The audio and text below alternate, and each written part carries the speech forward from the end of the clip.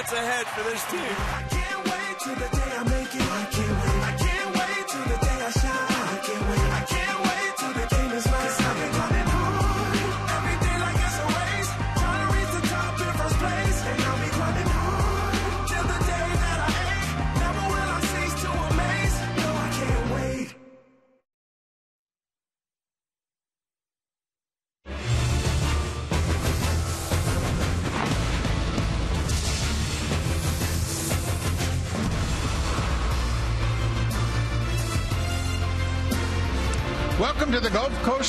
Florida. Another hot day here in Dunedin, Florida. It's 26 degrees. People on the beach in Clearwater. They're out on the bay in Tampa Bay sailing around, and the Blue Jays will take on the Boston Red Sox here at Florida Auto Exchange Stadium.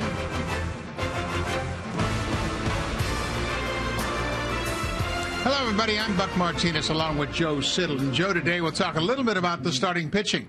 A year ago, when the Blue Jays broke camp, there were a lot of question marks in the rotation. This year, they're optimistic about what they might get from the rotation. Why are the Blue Jays so upbeat about their starters? Well, it was just a year ago that Drew Hutchison made that opening day start at Yankee Stadium, and now a year later, Drew is on the outside looking in for a rotation spot. It was the youngster Daniel Norris that had a good spring. He was rewarded as a rookie with a spot in that rotation. R.A. Dickey is back. Aaron Sanchez is back, or someone that may take that spot if Sanchez goes to the bullpen. The biggest shoes to fill are those that belong to Mark Buehrle. His 200 quality innings are going to be tough to replace, but it's going to be up to Jay Happ, who was rewarded with a three-year contract by the Blue Jays after a nice finish going to the Pirates at the trade deadline from the Seattle Mariners. Marcus Stroman's penciled in at the top of the rotation. He made just four starts a year ago. Why are the Blue Jays so high on Marcus Stroman as their starter? Well, it was a devastating injury last spring to Marcus and missed most of the season. He did come back, but this is one of the brightest young starting pitchers, stars, I think, in the game, and we're going to see it this year. Marcus has the ability to throw any pitch in any count. Russell Martin said the other day, pitches just come out of his hands so crisply, so sharp, and he can work both sides of the plate to continue to keep hitters off balance. Steven Wright, the knuckleballer, will go to the hill for the Red Sox. He'll be opposed by Marcus Stroman. And for more on the young right-hander, let's check in with Hazel May. Buck Marcus Stroman will be making his third start of the spring. Expect him to go four innings as he continues to build up that arm strength. Now, as Joe mentioned, by all accounts, all six of his pitches have been really working with for him. Although he has been trying to get a feel for the changeup. Uh, manager John Gibbons told me he's been impressed with what he's seen from the young right-hander. And when I pressed on on whether he wants to officially anoint Stroman as the opening day starter, uh, Buck Gibbons said with a small quote, "Maybe in a few days." Well, Marcus Stroman is lined up to make the opening day start. Everything is going well. Edwin Encarnacion will play this next week. R.A. Dickey's in great shape. And the kids in camp off to a great start. The Blue Jays 8 and 1 early on in Florida.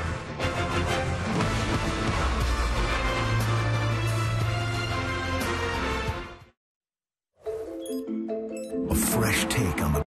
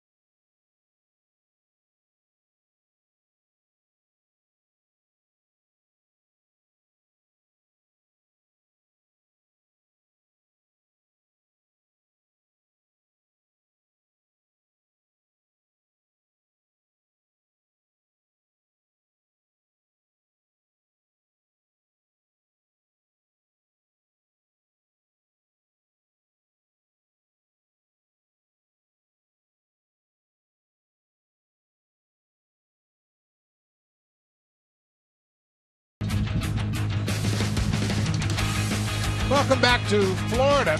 Another beautiful afternoon here on this Saturday afternoon. The Boston Red Sox are here. Red Sox are five and four so far this spring. Mookie Betts right at the top of the order. Boy, he was a thorn in the Blue Jays' side a year ago.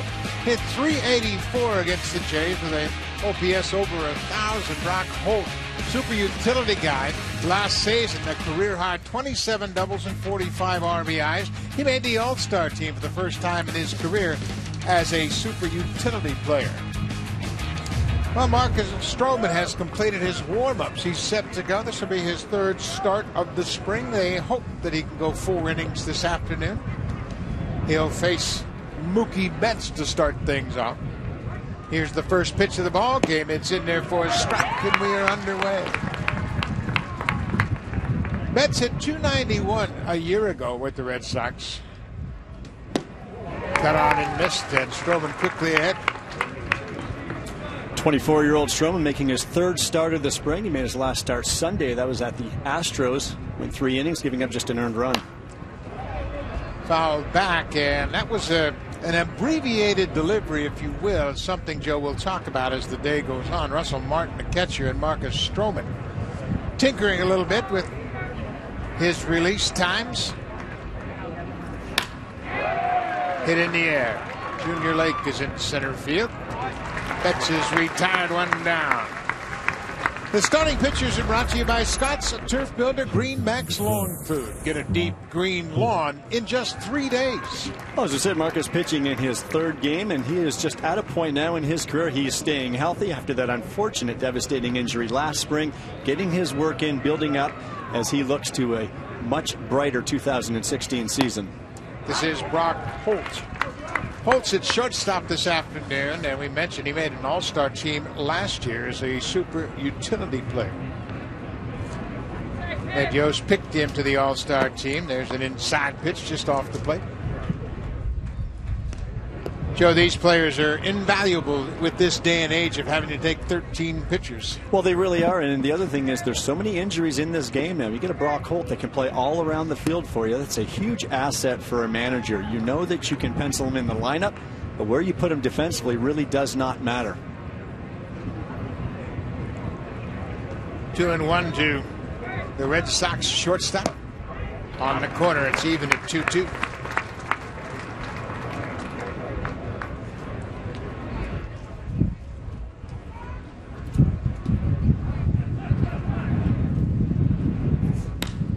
Another fly ball. It is breezy, as you can hear in the microphones. Dalton Pompey makes the catch, and everything in the air is going to be an adventure. Let's take a look at the entire defense for the Blue Jays. Pompey, Lake, and Carrera around the outfield. Matt Dominguez is at third base. Gio Myers, the shortstop. Darwin Barney's had a good start to his spring. He's playing second base. Smoak's at first, and the veteran Russell Martin making his fourth start. Russell stayed back from the road trip against the Rays on Wednesday in Port Charlotte. He caught Stroman in the bullpen. He also caught Drew Storen. These are very invaluable times for a catcher staying back from a road trip, getting acclimated, getting to know Marcus even more. They have a long chat after the bullpen session, but especially to see Drew Storen, somebody that he'll catch an awful lot this season. Travis Shaw bounces it on two hops to Smoak. He'll flip to Stroman. Easy inning for Marcus Stroman. Three up, three down. The knuckleballer Steven Wright will be on the mound when we come back. For our master of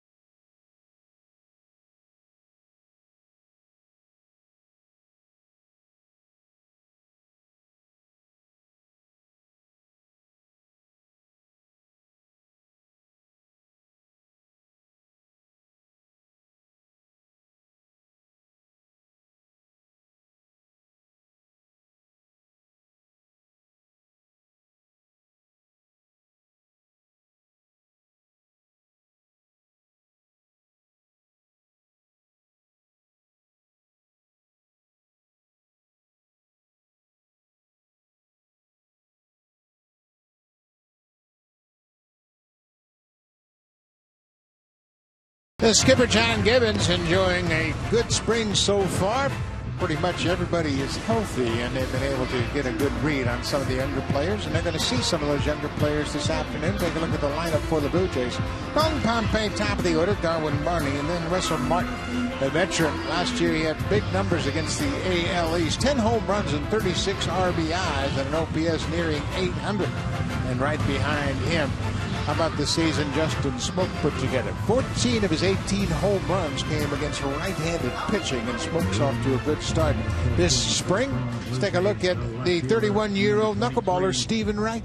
Wright making his second start of the spring. He appeared in 16 games for the Red Sox last season. Nine of those were starts over six different stints in Boston. This knuckleballer provides a lot of versatility for John Farrell and the Red Sox. This is a guy you can rush up from AAA and send him back down. He can pitch out of the bullpen. He can start, again, a nice, valuable piece.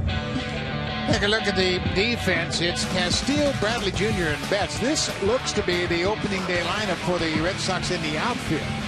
A little bit different story on the infield. That's Travis Shaw at third, Brock Holt and Marrero up the middle, Allen Craig's at first, and Christian Vázquez making his second start of the spring. He missed the entire season a year ago. Mookie Betts. Tommy John. Right field, and Mookie is limited action in the major leagues at, in right field, but with Bradley in center and Castillo in left, as you said, a very good defense in the outfield, and especially a big right field at Fenway Park. First pitch strike in there to Dalton Pompey. Pompey has played eight games so far this spring. He's three for 16. He's hit a home run already. This has popped up. Wind is blowing it toward the seats from foul ground. Travis Shaw gets over there and makes the catch in foul territory, one down. Wind is really howling. It has been all spring long, and today is no exception. Always a challenge for outfielders and infielders on a day like this, Joe. First thing you do as a defender is you have to know when you get to the ballpark how that wind is blowing, especially when it's as strong as it is today. Nice job there by Travis Shaw. Played that wind nicely into foul territory. This is the second baseman, Darwin Barney. He takes strike one. Barney has six hits this spring. You see his numbers from a year ago with the Blue Jays.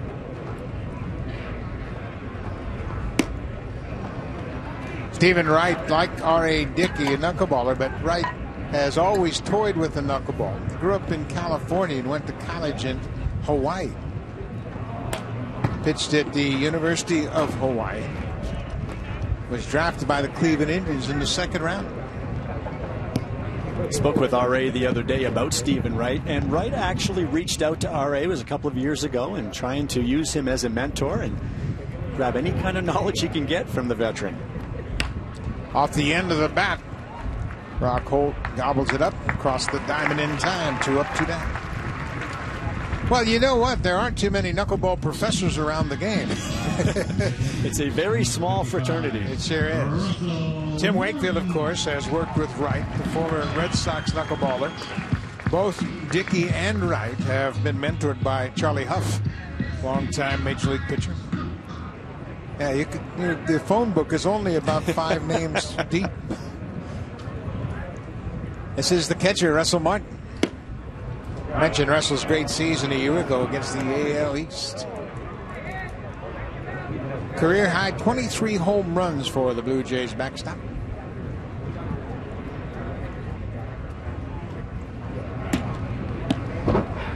Christian Vázquez has that go off the webbing of his glove. We mentioned Vázquez missed the entire 2015 season because of his Tommy John surgery.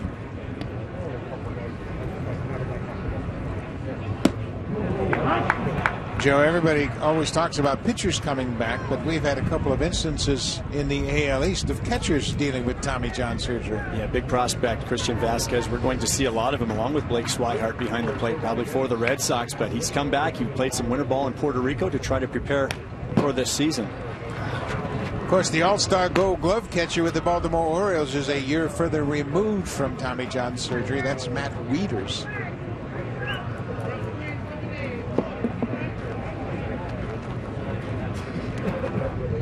Martin in a hole, one and two.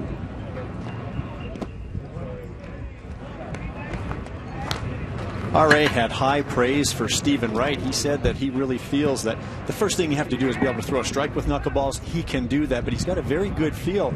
RA said that when he's out of the game, Steven Wright could be that next knuckleballer to come through. Well, Wright is 31 years old, and obviously we know that just a matter of getting command of that pitch and you have the potential of logging a lot of innings. Here's the full count pitch.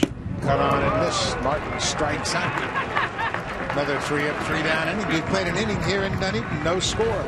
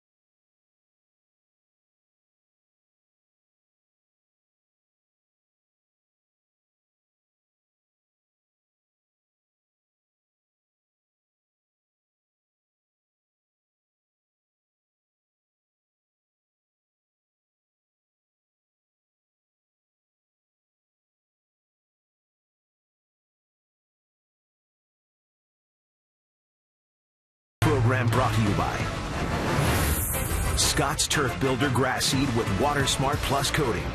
Grows grass quicker and thicker. Guaranteed.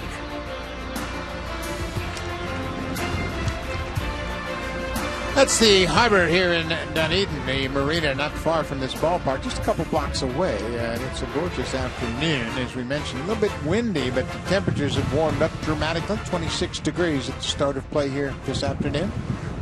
Four degrees in Toronto. It's warming up up north as well.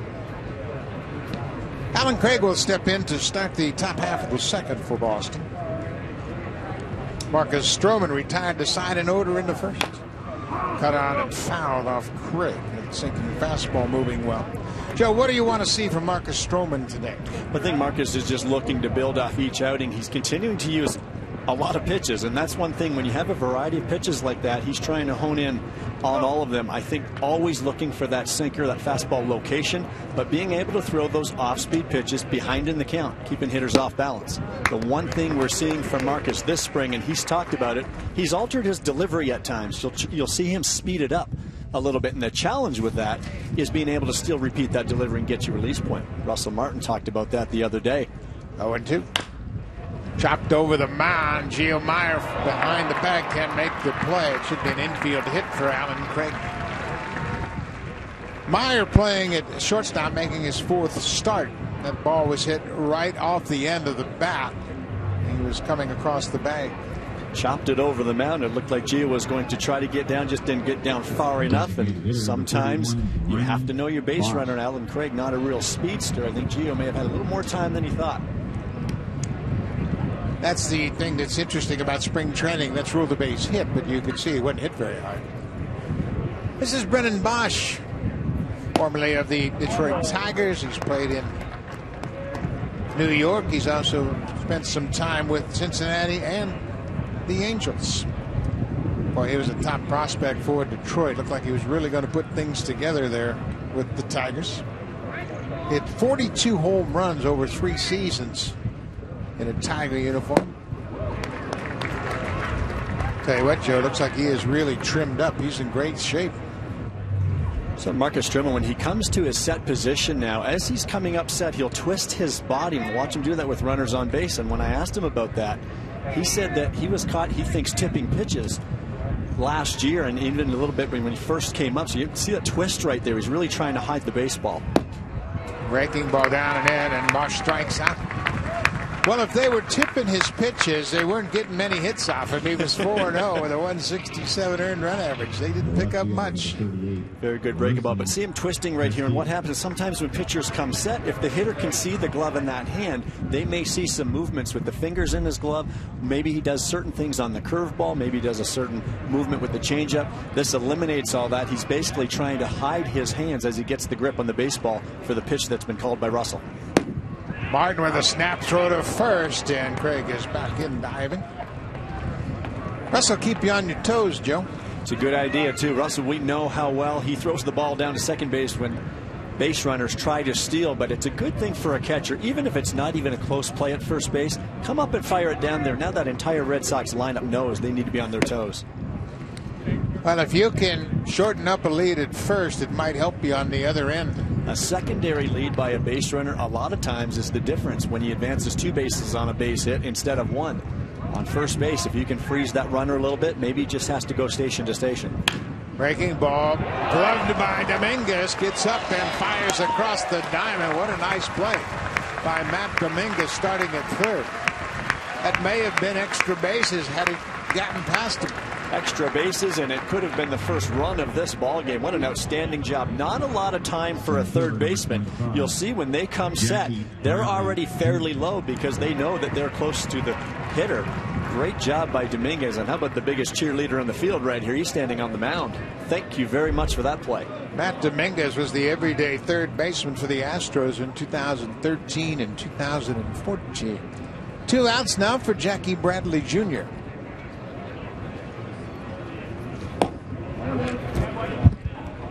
Boy, Stroman is a real challenge for hitters, isn't he? He presents so many different looks and different pitches, changes speeds. The fastball average is around 92, but he's got curveball, slider, cutter, and changeup, and he has the ability to throw them at any time.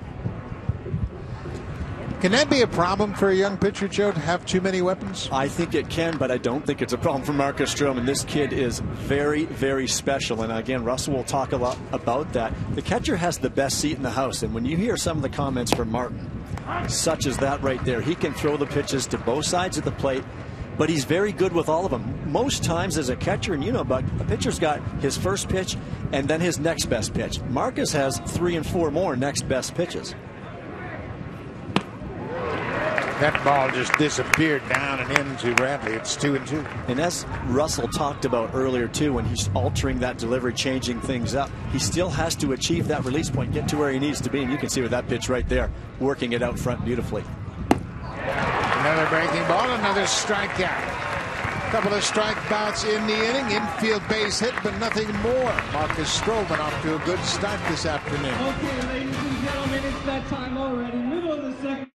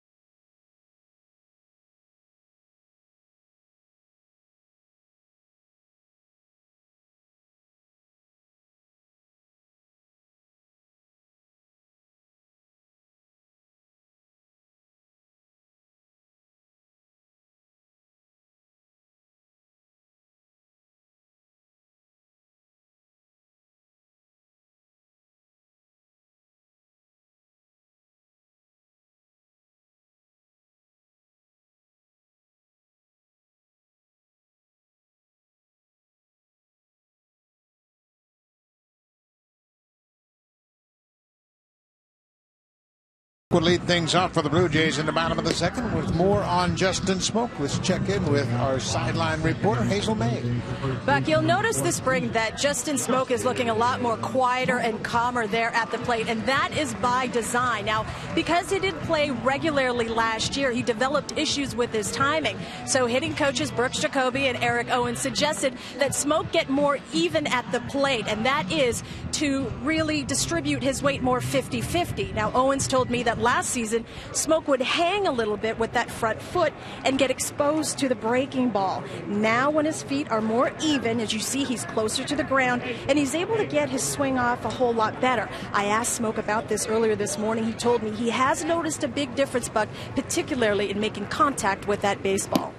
Justin Smoak is already hit two home runs. Got a pair of doubles to go along with it. So, so far, so good with the subtle adjustment. You can see the Red Sox doing their shift now as Brock Holt stays in his position at shortstop. There's an off-speed pitch. That slow knuckler got him that time. Well, it's a special challenge today, too, against a knuckleballer. But one thing Justin's trying to do is being more 50-50, now you're allowing your hands to go back as that stride foot goes forward to get your load before you explode forward. Sometimes what Justin did, because he was more leaning on that back leg, that weight distribution, he would sway forward a little bit. When you sway forward, and especially when your hands come with you, it's a problem. That ball is going to get down for a base hit. Jackie Bradley Jr. over to cut it off. And Justin Smoak with his sixth hit of the spring leads it off with a single here in the second. This is a real challenge for hitters against knuckleball pitchers, but this is perfect for what Justin Smoak is working on right now. Really trying to stay 50 50 with that weight distribution, allowing the ball to travel. That's mostly the approach for hitters against the knuckleball that plays right into his hands for Smoak today. So Smoak's aboard for Domonic Brown, who's the DH here this afternoon. Brown signed late in the offseason just before spring training. He's trying to catch on as an extra outfielder with this ball club. He takes strike one. You may notice that John Gibbons has, by design, let a lot of the regulars take the rest of the day off here this afternoon with the knuckleballer on the mound. What's the thinking behind that, Joe? Well, you know, there's not a whole lot of hitters that are signing up to play a spring training game against the knuckleballer. Some of the big boys played yesterday, and I think Gibby plans on playing them all tomorrow and Sunday as well. It's a perfect day off. Why mess with their timing? I talked to Ryan Goins earlier today. He feels really locked in right now. He said that's the last thing he needs right now is to have to try to time a knuckleball. And ball gets away from Vázquez, and Smoak jogs into second. It's a wild pitch charge to Steven Wright. Not much you can do about these. This is the unnecessary evil per se against against an knuckleball pitcher, and Vázquez does the best he can. You're just not going to field all of these pitches cleanly. Very difficult. Vázquez does a nice job, and the Blue Jays know very well the job that Josh Thole does behind the plate with R.A. Dickey. Two and one. Outside now it's three balls. I caught a knuckleballer in Anaheim the late Bruce Dal Canton when we were both in Kansas City, and I had a few of those trips back to the backstop one afternoon. Don Drysdale was the announcer about the fifth inning. He says, Buck must know everybody in that front row now. That's ball four. So, right. Gives up a base hit and a walk. Two aboard, nobody out for Junior Lake. It's a humbling experience for a catcher because when you think you're a good defensive catcher and you have real good hands and that's the strength of your game and then you have to try to take that on. It's just what's going to happen with a knuckleball pitcher. Unfortunately, they are going to have to put up with some of those balls going to the backstop. I don't think Russell Martin would call it a humbling experience. Russell said, I did not sign up for this. Did not sign up for that for sure. But when the pitcher doesn't know where it's going, the catcher certainly doesn't know where it's going. So it's a real challenge to catch a knuckleball. No score. We're in the bottom of the second. Junior Lake bats with two on and nobody out.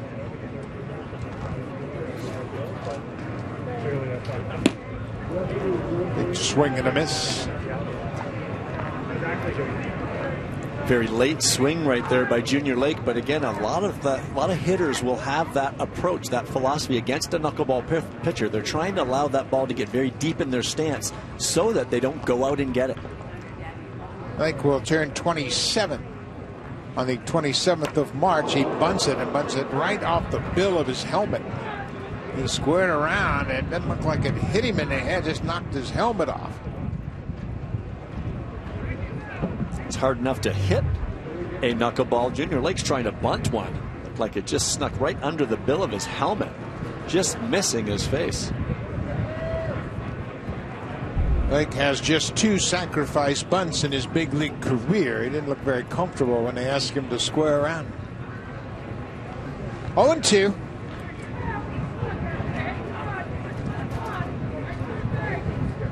Interesting, Lake having to wait on right, get the right pitch. He's a knuckleballer. Tried to cross him up. Fastball back to the mound. Holt to first, double play. Well, just like R.A. Dickey, Steven Wright, he knows he's got to field his position. Made a nice play to start the double play. We've seen R.A. Dickey do it in the Blue Jays uniform, fields his position very well. And this is where a pitcher can really help himself. This ball could have been going up the middle if he does not make this play. Instead, it's a 1 6 3 double play. Steven Wright now one pitch from getting out of this mess. Good turn by Holt. Two down now, man at third as Smoak advanced on the double play. This is Matt Dominguez who made that fine defensive play at third base.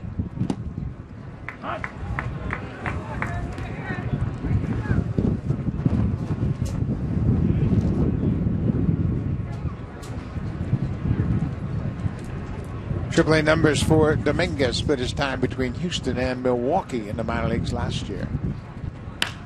Pulled on the ground. Travis Shaw stays down, makes a play, and after two on nobody out, Steven Wright gets out of it. Still scoreless here in Dunedin.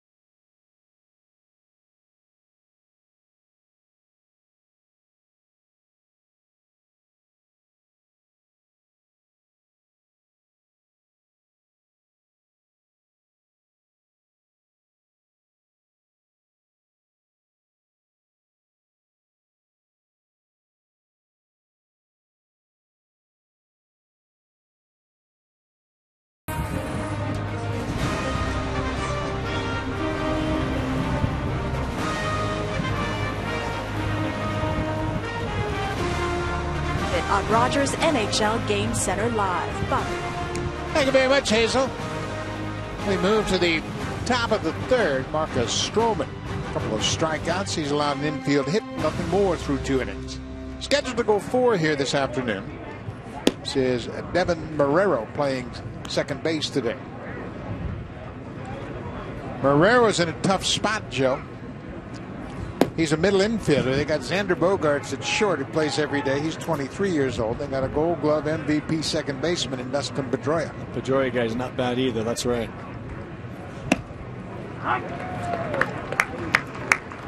Stroman looks like he's had enough spring training. It's time to go north. he is one excitable young man. Continue to see with Marcus's delivery. We talked about that abbreviated delivery where he's trying to, you want to call it a quick pitch. What he's doing, he's trying to vary his times. Pitchers do it from the stretch position with runners on base all the time. Bouncing ball. Dominguez has to take it on a short hop. He still has time to throw out Marrero. You don't often see it from starting pitchers from the windup. We saw most notably in the big leagues from Johnny Cueto last year throughout the playoffs. But what Marcus will do is he'll speed it up once in a while, and it's all about offsetting that timing of the hitters. Nice job by Dominguez again right here, showing his defensive prowess, staying back on that baseball, getting himself a good hop. Blue Jays have some young infielders. Andy Burns has had a nice spring. Jio Myers played well, and now Matt Dominguez has made a couple good plays here already. This is the catcher, Christian Vázquez. Vázquez is from Puerto Rico. We mentioned he had Tommy John surgery and missed the entire 2015 season. There's one of those abbreviated deliveries right there. And the difference right there is that it was a breaking ball, and this is what Russell Martin's talking about. So Marcus abbreviates the delivery, but watch how he does not quite get up front in the curveball. That's a hanging curveball. That's not a good one. Another breaking ball. This one hit to right. Carrera gets back and makes a nice play on it. Ball cut back towards him, and he stayed with it for the out. That's why when Russell Martin talks about that as a catcher, you have the best seat in the house. And Russell's concern is for Marcus to continue to work on this if he's going to do it because you have to get that timing right. Russell talked about getting trying to repeat that delivery and getting to that release point. If you hurry with your body, then your arm trails a little bit. It's a little bit late, and that was the result of that hanging curveball we saw. Then it certainly becomes counterproductive. You don't finish your pitches. Back to the top of the order, Mookie Betts, the right fielder. Goes after that first pitch.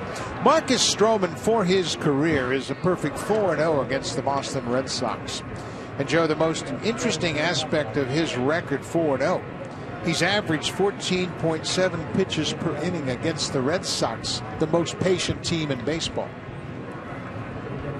Such a variety of pitches. He can use them all, but he continues to come after hitters.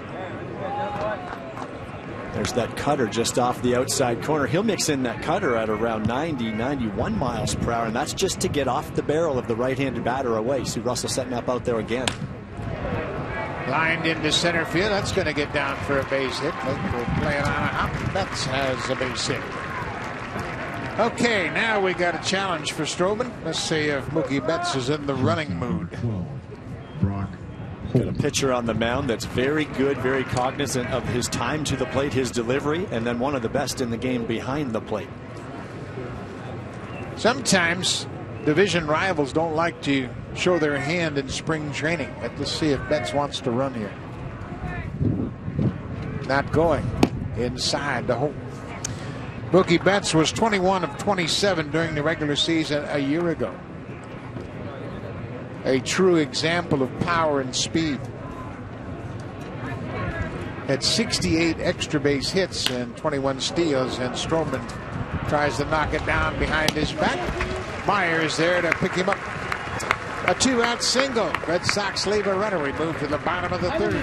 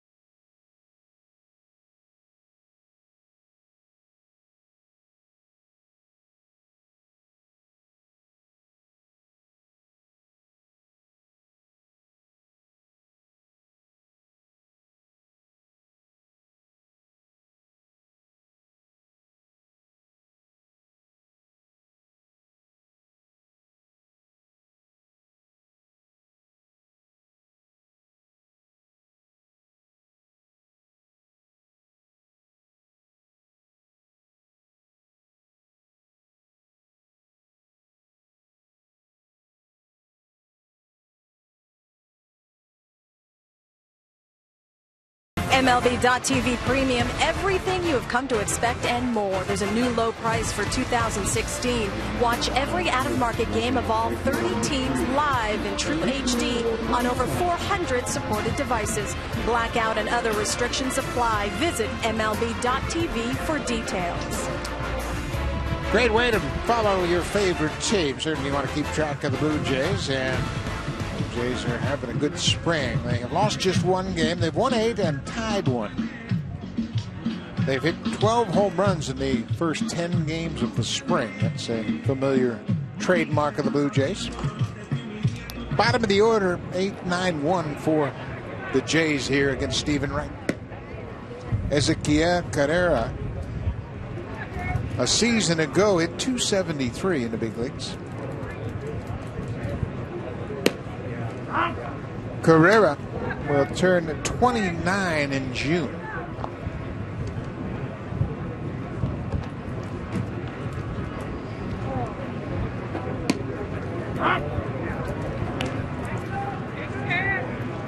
Seems to be a wide open battle for that extra outfielder spot. Talking to John Gibbons every day, and he just seems to continue to say everyone's contributing, everybody's doing their part to make it very interesting.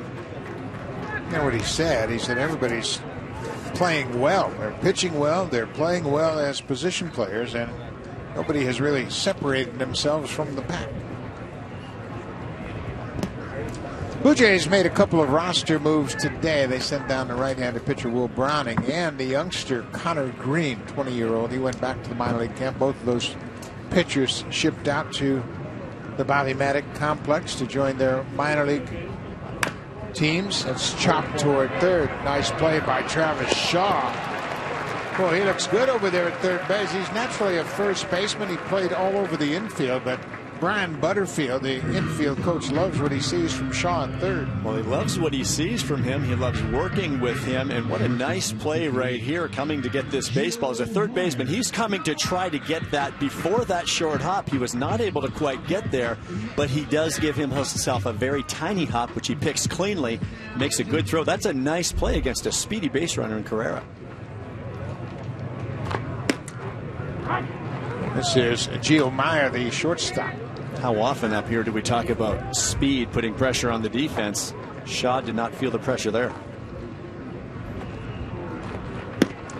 John Farrell, the Red Sox manager, was talking about the AL East division and how prominent the third basemen are defensively. He said you got Manny Machado, the gold glover in Baltimore. You've got Longoria with the Rays. Of course, Donaldson with the Blue Jays. He said we're a little bit behind the curve defensively at third base with Sandoval.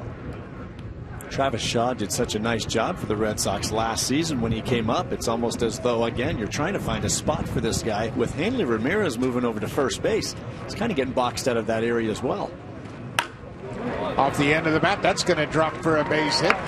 Ooh, nice play by Mookie Betts. That ball shot on him as it hit the ground, but he was able to extend and keep Mier to a long single. It was a good recovery that time by Mookie Betts. We talked in the open now. He's sliding over to right field, has not gotten a lot of major league experience in right field. He has to understand now in right field from a right handed batter, this ball slicing away from him. He underestimated that just a bit. But again, he's got that tremendous speed, and that's why the Red Sox are going to move him over to right field because of the very spacious right field at Fenway Park. Dalton Pompey in the leadoff spot. Pompey popped out to the third baseman in foul ground his first time up.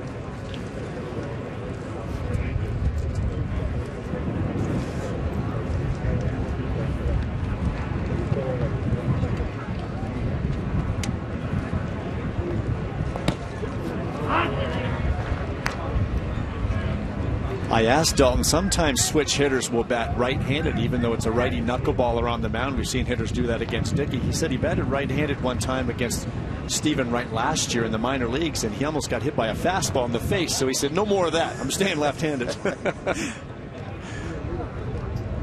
And goes the runner. Now he shuts it down. The snap throw as Mier slides in ahead of the tag at first. Mier broke toward second, didn't like his break, and then Vázquez nearly picked him off Well, he didn't like his break, and you have to remember, Steven Wright is fairly quick to the plate. It could have been just a bluff, but you better not bluff too much over there with Vázquez behind the plate. I don't care about the Tommy John surgery. This man can still throw very well.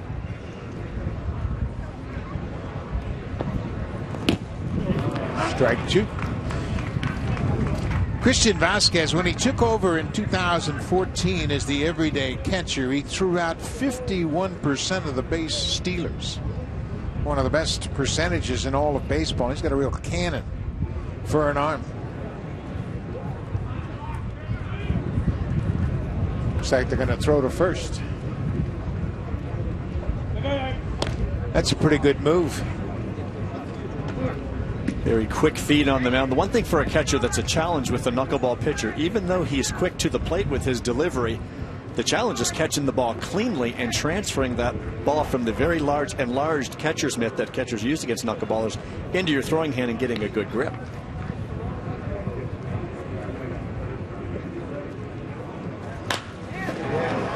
Fly ball into center. Jackie Bradley Jr. Rangers back makes the catch. Pompey's retired. Mier retreats to first. Two down now for Darwin Barney, the second baseman. That's Tim Leiper at first. First base coach. Leiper and Luis Rivera on the coaching lines for the Blue Jays. Tim Leiper has that stopwatch in his left hand, and I'm sure he's telling Jio right now, you can try, but Steven Wright is very quick to the plate. He's between 1-1 and 1.2 seconds with his delivery. Any pitcher that stays around 1-3 or under is going to give his catcher a pretty good shot at throwing a runner out.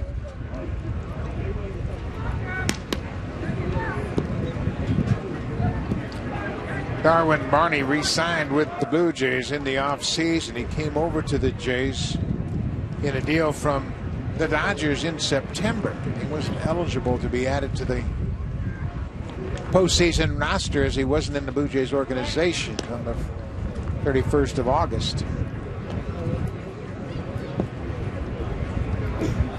Interesting addition to the organization. It gives them a lot of versatility around the infield. It's a nice piece. Darwin did a nice job up with the Blue Jays towards the end of the season last year. And what he is, is he's a major leaguer. And that's what's going to really help if he has to spell Ryan Goins at second base one day. Maybe Gogo replaces Tulo at short.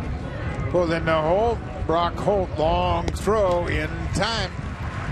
The All Star Brock Holt in support of Steven Wright ends the inning on the 6 3 ground out.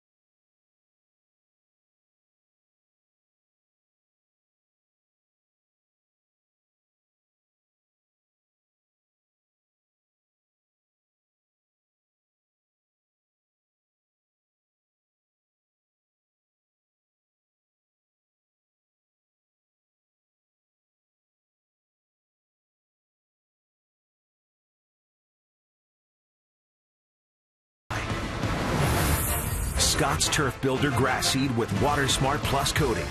Grows grass quicker and thicker. Guaranteed. Beautiful Saturday afternoon. That's the Sunshine Skyway connecting St. Petersburg with Bradenton.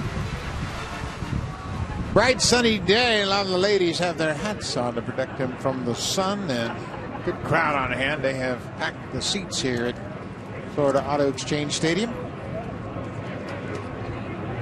Travis Shaw, he's put on the show so far defensively at third. Trying to get something going against Marcus Stroman. The Red Sox have two hits, as do the Blue Jays. No one has scored yet.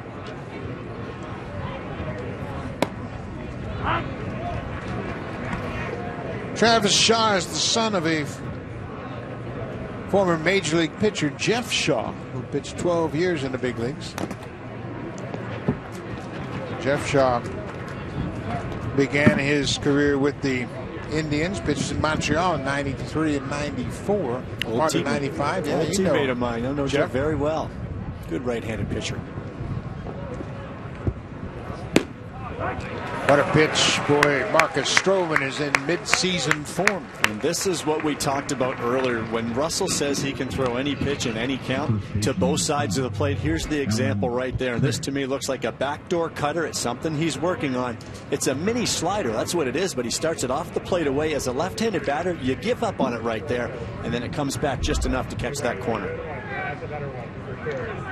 Allen Craig had an infield single right over the bag at second his first time up.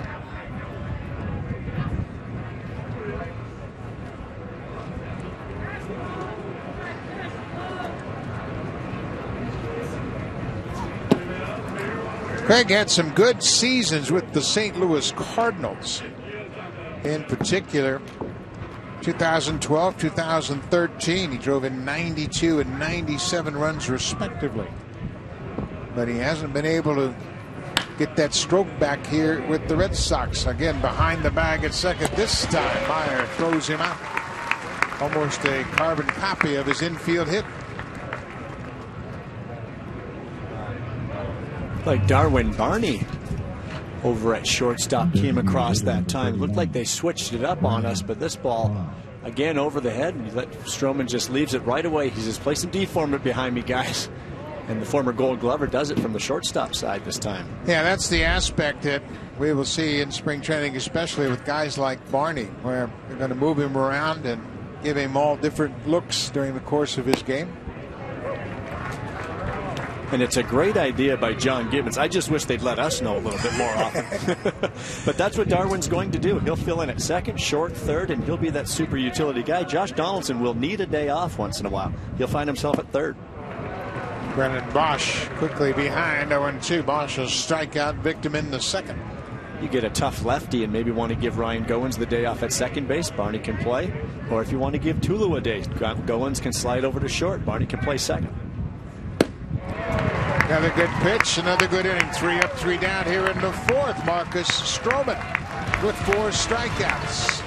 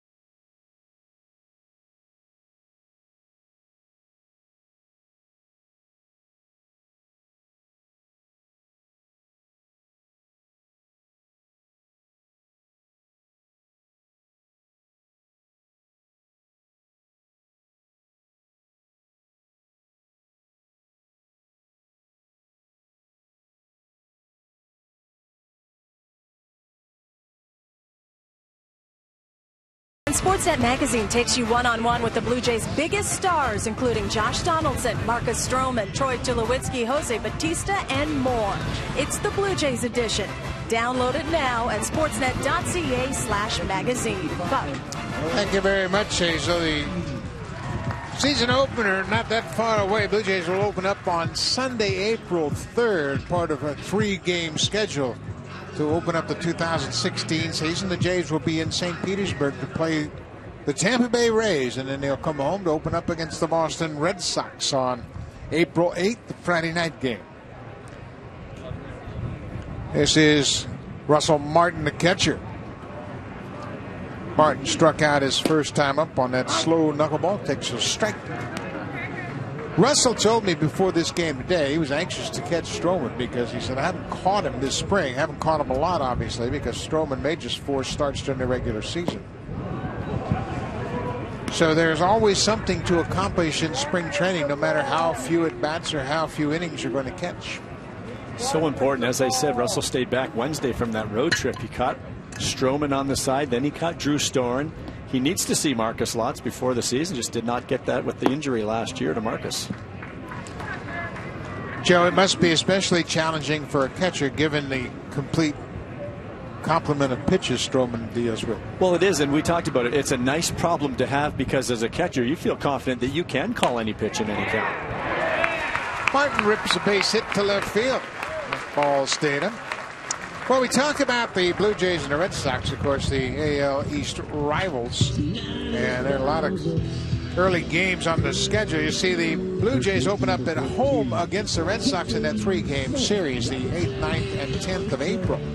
And then they will go into Boston. That will be a four game wraparound series at Fenway Park, including the 18th on Patriots Day. That's the day game, the day of the Boston Marathon. The Blue Jays will play in that 11 o'clock game. So they'll see one another quite a bit, including two games in Montreal on April 1st and 2nd. Not a lot of secrets between these two ball clubs. This is Justin Smoak. He had a single into right center his first time up. Takes a strike. It's a ball and a strike. Again, they put the exaggerated shift. This time, they leave the double play combination intact and put the third baseman between first and second.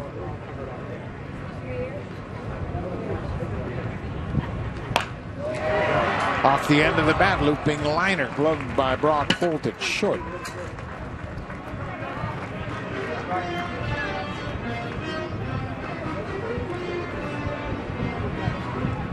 Smoak might have caught that one on the end of the bat.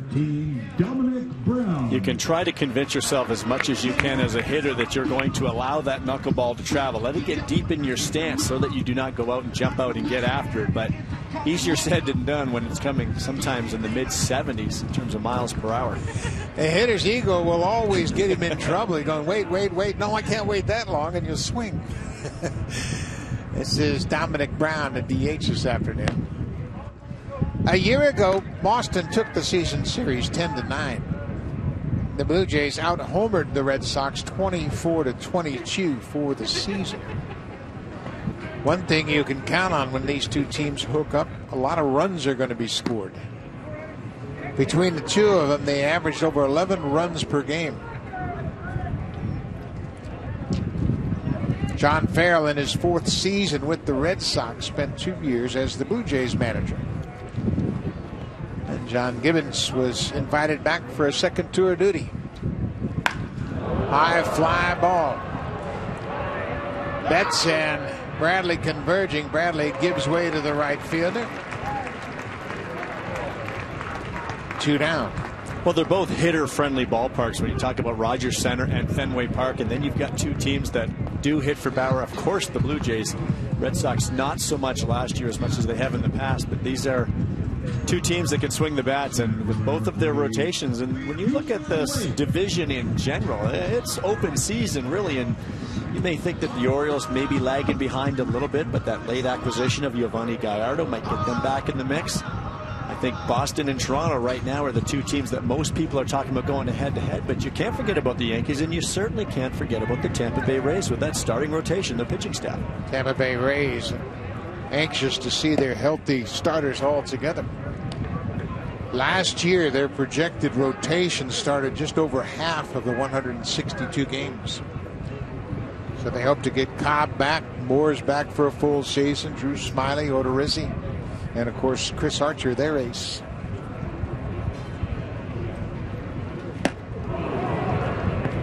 Junior Lake grounded into a 163 double play in the second. That's the only real bona fide scoring opportunity we've seen in this ball game. Blue Jays had runners at first and second, nobody out, then Lake tapped back to the pitcher.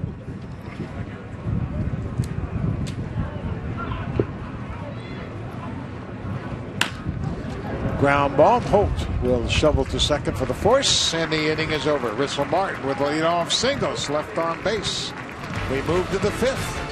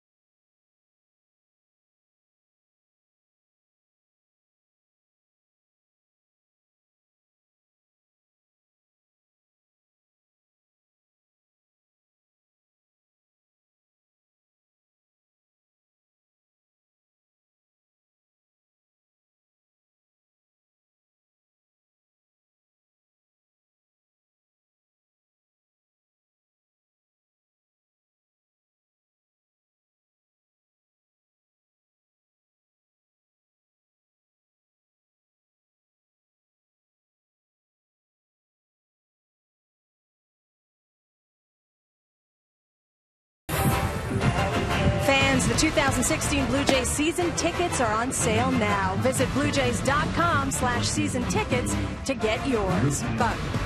Should be another great season, Hazel. And make sure you check out season tickets online. The Blue Jays anxious to get their 2016 season underway. Of course, they are the reigning champs of the AL East.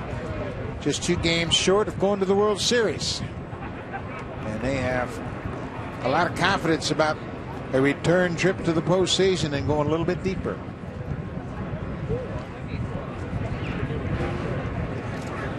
Here's Nick Castillo, the left fielder.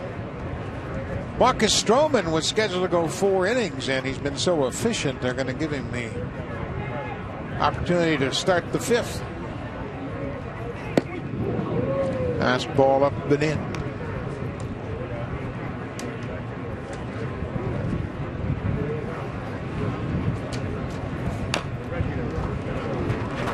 The one thing that Stroman does is he makes you think about swinging. He throws so many pitches in the zone that step hitters step in the box and they think, okay, I got to get ready to swing.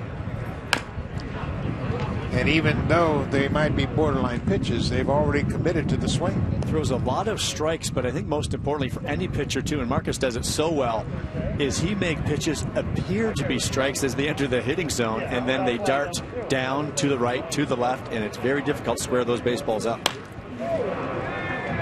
Castillo goes down. It's a pretty good pitch and rips it into center field. That's the third base hit for the Red Sox against Stroman. Stayed on a pretty good pitch, Joe. That's a nice job by Castillo right there. It's the ball down in the zone, but he keeps his bat on plane a long time. You hear hitting coaches talk about that, keeping that bat on plane. That means keeping the bat in the hitting zone a long time. He hit that at the very end, but was still able to get the barrel on it. Castillo's in his third season with the Red Sox. He signed as an international free agent August 23rd of 2014. He's 28 years old. This is Jackie Bradley Jr.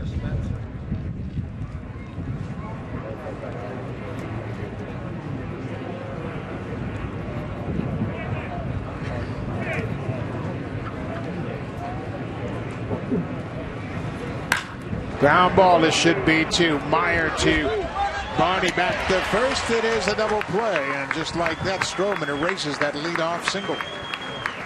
Marcus Stroman has this newfound sinker, and I say newfound, he found it last year, but the way he utilizes it now, he is able to get ground balls at any time. Having a base runner is not a problem. He knows the pitch he can go to.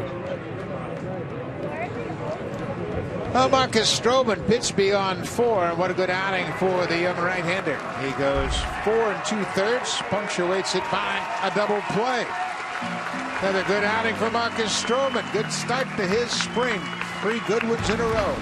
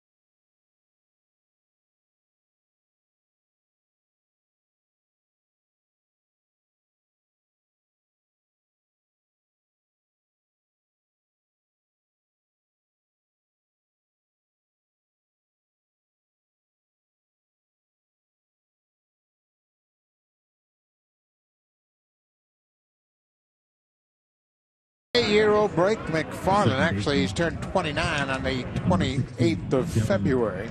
See his numbers from AA and AAA. He was a non-drafted sign out of San Jose State in California.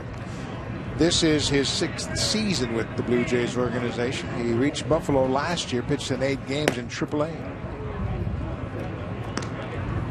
He's a big guy, had a nice season. He got with Rick Langford after the 2013 season, he told me. He's gone to exclusively the four seam fastball. He's trying to work the zone up and down more as opposed to side to side. And one pitch that he really learned from Langford, he throws a very good split finger pitch right now. He feels that it's been the difference for him in these last two seasons. He's a big guy. He gets good leverage and gets on top of that pitch. 6'5, 223, and he throws a strike. Deven Marrero, the second baseman, batting eighth in this lineup. Two outs were in the top half of the fifth inning of this scoreless game. Might have been that splitter right there. But you can see how he does get on top of that baseball. And this is a case where not all pitchers are the same. It's not a cookie cutter type thing where you can just teach everybody to do the same thing. Why not use your abilities and maximize them? And it looks like that's what Langford has done, trying to help McFarland along. It's made a difference in his last two seasons.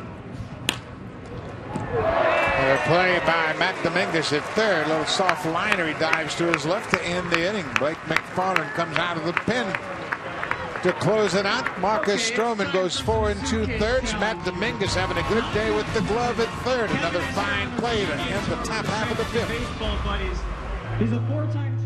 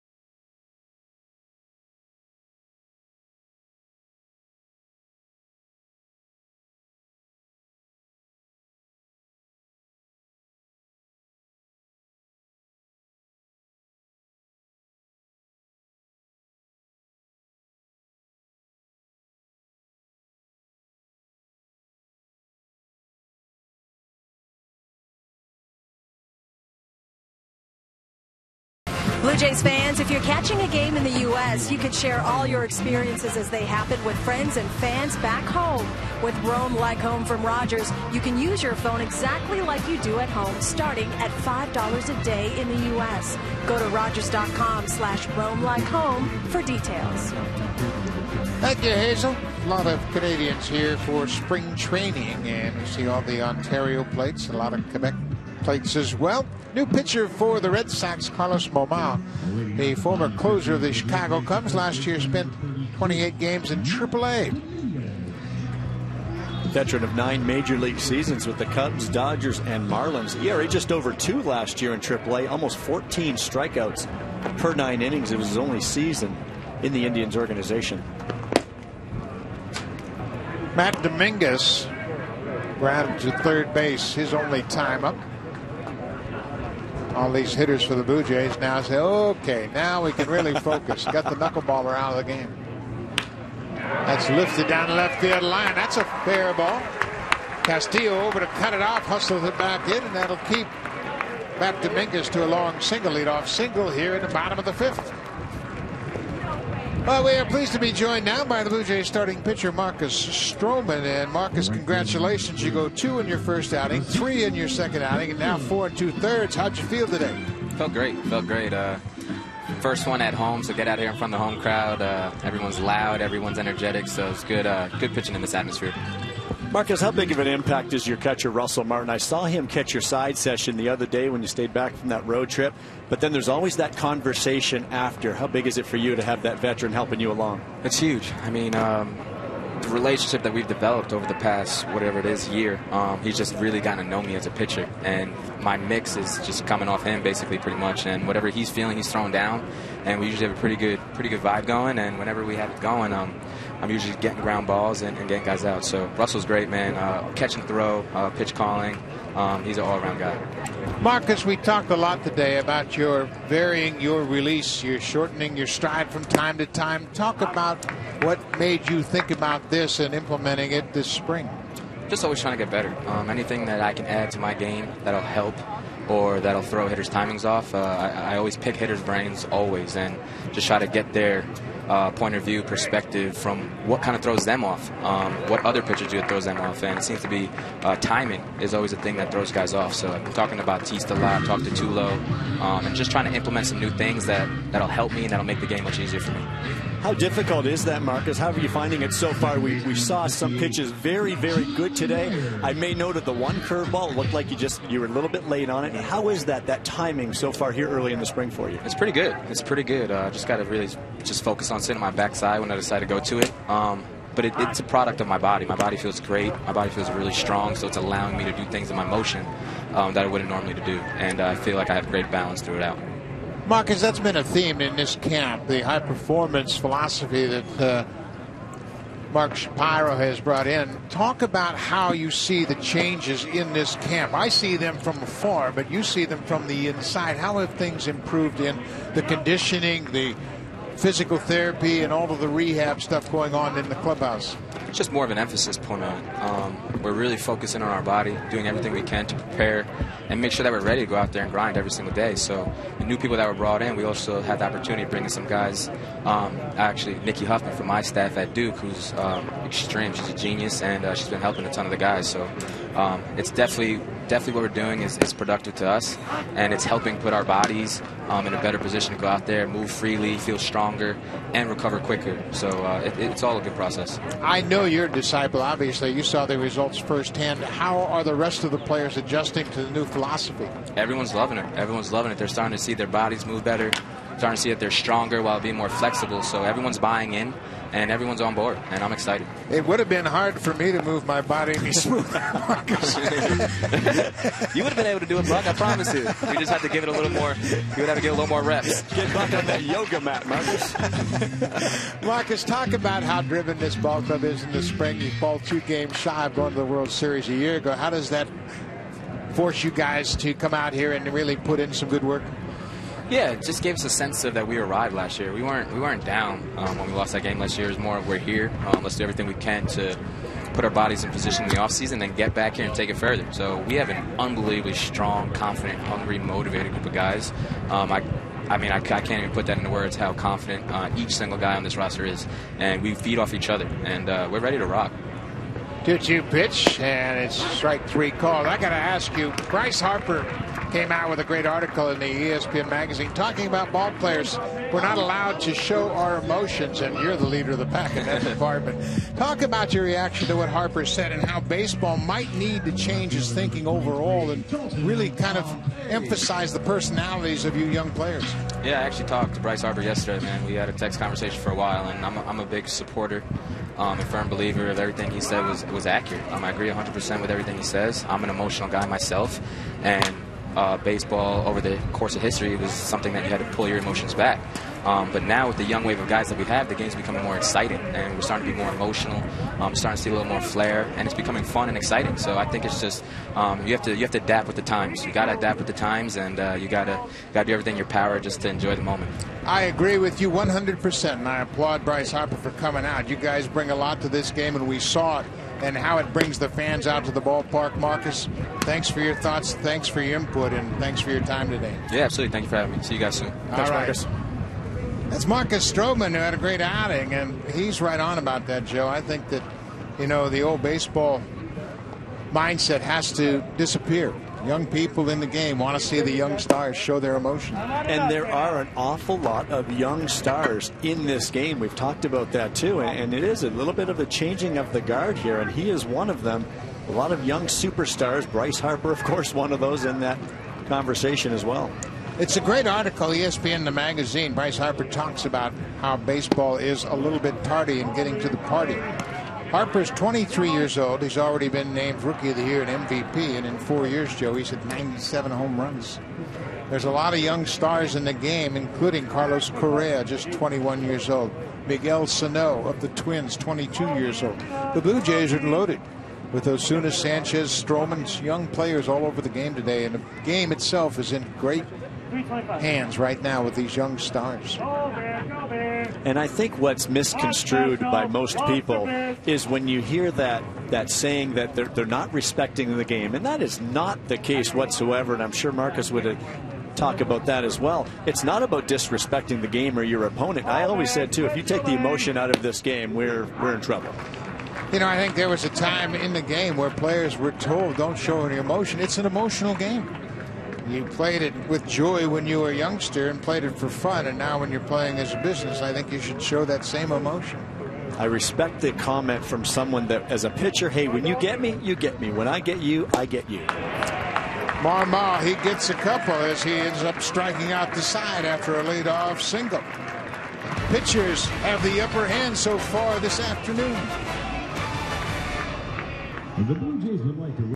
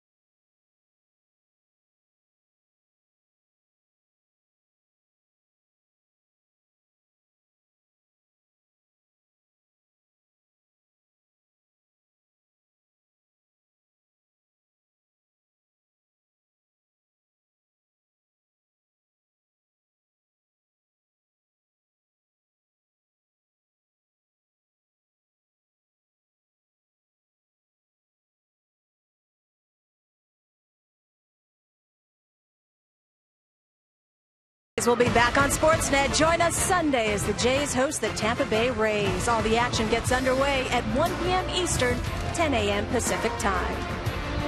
Tampa Bay will be here at Florida Auto Exchange Stadium, and get a chance to see the race firsthand. This is Drew Storen. Blue Jays acquired him from the Washington Nationals in exchange for Ben Revere, the left fielder, and Storen is an interesting addition to this bullpen. He sure is. Just working in his third game of the spring. I spoke with Drew the other day. He's just he's that veteran relief pitcher that's just trying to build off each outing down here in spring training. Made an interesting comment. He says the more he pitches throughout the course of spring training, that's the velocity just continues to come. And he's a guy that'll average about 94 miles per hour. Slider and changeup to go with it. AJ Jimenez is behind the plate. Richard Urena has taken over. Urena taking over at short, and Andy Burns is in left field for Dalton Pompey.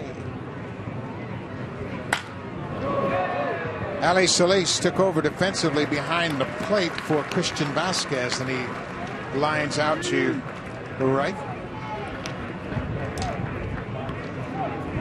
Drew Storen has been a closer, and he's a guy that says, you know what, I'm over here to help this team win a championship.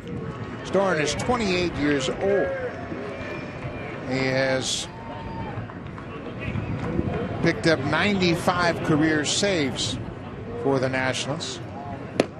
And Joe, you talked to Storen about his hesitation and how he uses that to his advantage. Much like we heard from Marcus Stroman, these these pitchers talk to hitters. They want to know what upsets their timing, and the number one thing is some sort of hesitation in the delivering. We'll see Storen right there. He's just got that little hitch, and that'll upset that timing of the hitter. One thing Drew talked about too is not just as a veteran working on your fastball. He's got slider and changeup, but he's got to work on his slider. That's a get over slider, or when he's pitching backwards in the count behind the hitter, and his put away slider when he's going for a strikeout. Jams Mookie Betts with that inside pitch. He'll also work the changeup in the same manner. He's got a changeup that he'll get over or throw when he's behind in the count. He's got another one that he wants to bounce. But here's that hesitation right there. So right there is just a stop almost before he continues. As a hitter, when you see that pitcher come up with his leg, you're getting your timing going. You wanted that thing to be fluid, and it's not. So that can only help him in terms of trying to upset that timing. Bounce that ball well in front of home plate. It's two balls and two strikes. Storen was initially a number one pick of the Nationals in 2009 out of Stanford University.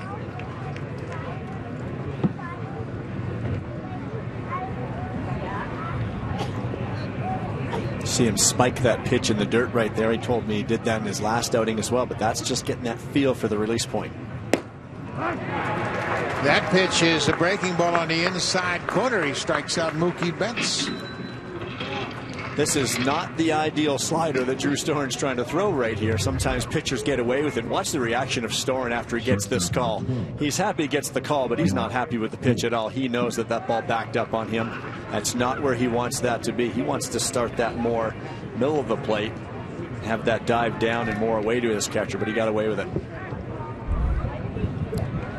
Brock Holt, the shortstop, 0 for 2 so far. Storen's not a real blazer. He won't light up the radar gun, but he really reads bats well. If he sees something at the plate from the hitter, he'll make adjustments off what he sees.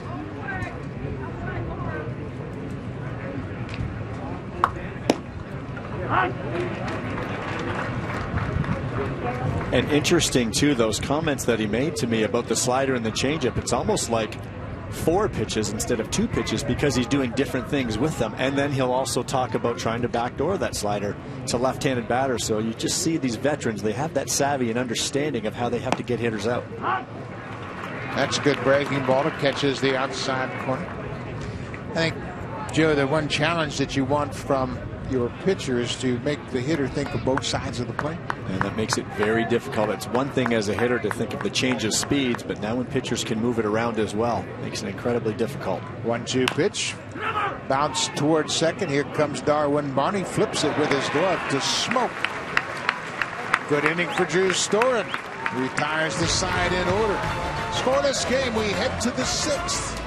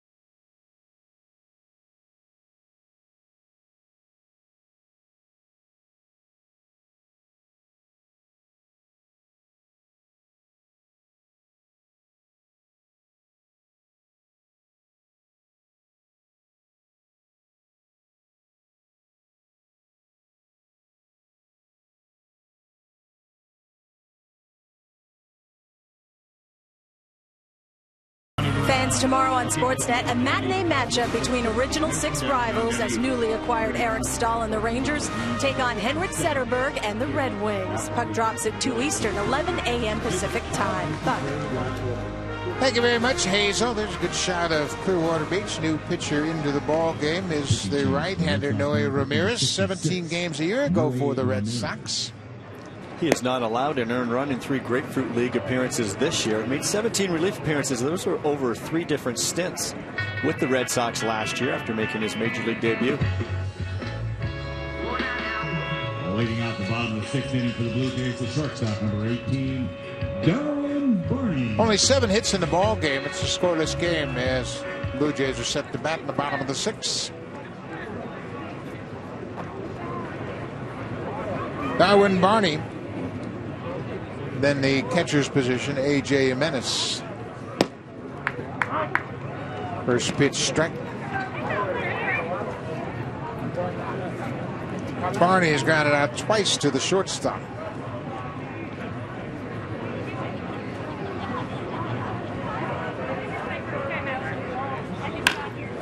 Make it three times.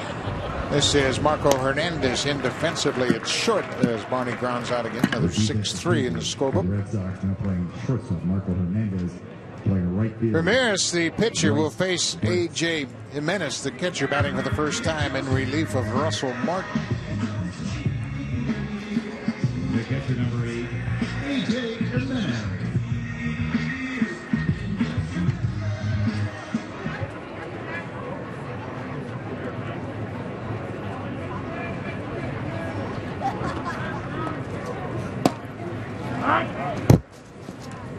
We are joined now by Drew Storen. And Drew, you barely broke a sweat in that one inning out there. Drew, are you with us? Maybe not just yet. Can't hear me. There you go. There you go. How you doing, Drew? I'm good, good. Nice little outing there. Uh, good to get some work in and, uh, you know, just getting in the groove. Talk about the breaking ball. You looked like you tried to throw it to both sides of the plate in that outing. Yeah, you know, it's something I like to do is move it both sides and, uh, you know, especially to a righty, working it in. Because that's a tough pitch to keep fair. So, uh, you know, good to see some guys freeze on that pitch because that's something that uh, I need to have in my arsenal for this year. Drew, you didn't look overly happy with that one strike. It looked like maybe you're trying to get that thing to bite down glove side, and it kind of stayed on the inside, but you got away with it. Is that something throughout spring training that you're always continuing to try to hone in as you get closer to opening day? Yeah, definitely. You know, you want to be able to spike one here and there, and uh, you know, like I said, it's a it's a pitch that, fortunately for me, when it stays around the plate like that on the inside half, I, I can get away with it sometimes. But uh, you know, it, as as we move on here in spring, I need to put some in the dirt. Justin Smoak bats with shootouts. Getting acclimated to a new catcher. What challenges do you face there? Uh, you know, it's just uh, you know, it's learning and understanding the game that they're calling, and then uh, you know them understanding my strengths, and uh, so it's been a lot of fun though because it gives you an opportunity to learn and uh, you know to get better. So I'm having a good time with that. Drew Russell stayed back Wednesday, much like I talked about Stroman earlier. He also caught you on the side, and then I see those conversations after the side sessions. Tell us what those conversations are like for you too with the brand new catcher this season. Yeah, you know, it's about pitch selection and understanding, you know, what kind of sequence I, I, want, I like to do, and uh, you know, also hearing what he likes to do, also, and seeing my stuff. So, uh, you know, it's one of those things. That way, I'm not out there shaking five times and uh, killing my rhythm. Drew, I want to thank you for your time. Congratulations on another good outing. Thanks, guys. Appreciate it. All right, Drew. That's Drew Storen who had a one, two, three inning of work here this afternoon. Kind enough to join us for a minute. Justin Smoak behind one and two, two outs in the inning against Noe Rodriguez, Noe Ramirez, excuse me. Off the plate. Ramirez has four outings against the Blue Jays. They've hit him hard, four hits in just two and two thirds innings. Not much experience.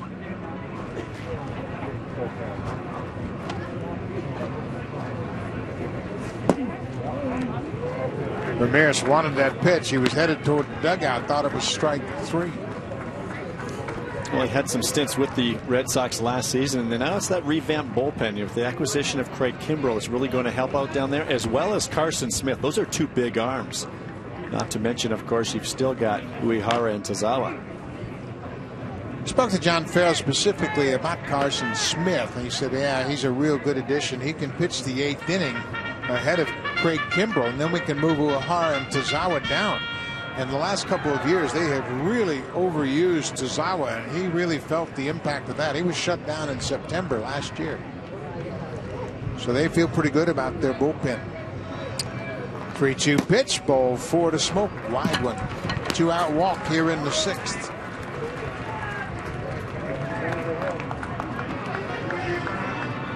Of course, the Red Sox, with the big acquisition of Craig Kimbrel and David Price, they brought in Chris Young, a platoon outfielder. Recently signed David Murphy, an outfielder. Jon Berti takes over as a pinch runner at first base.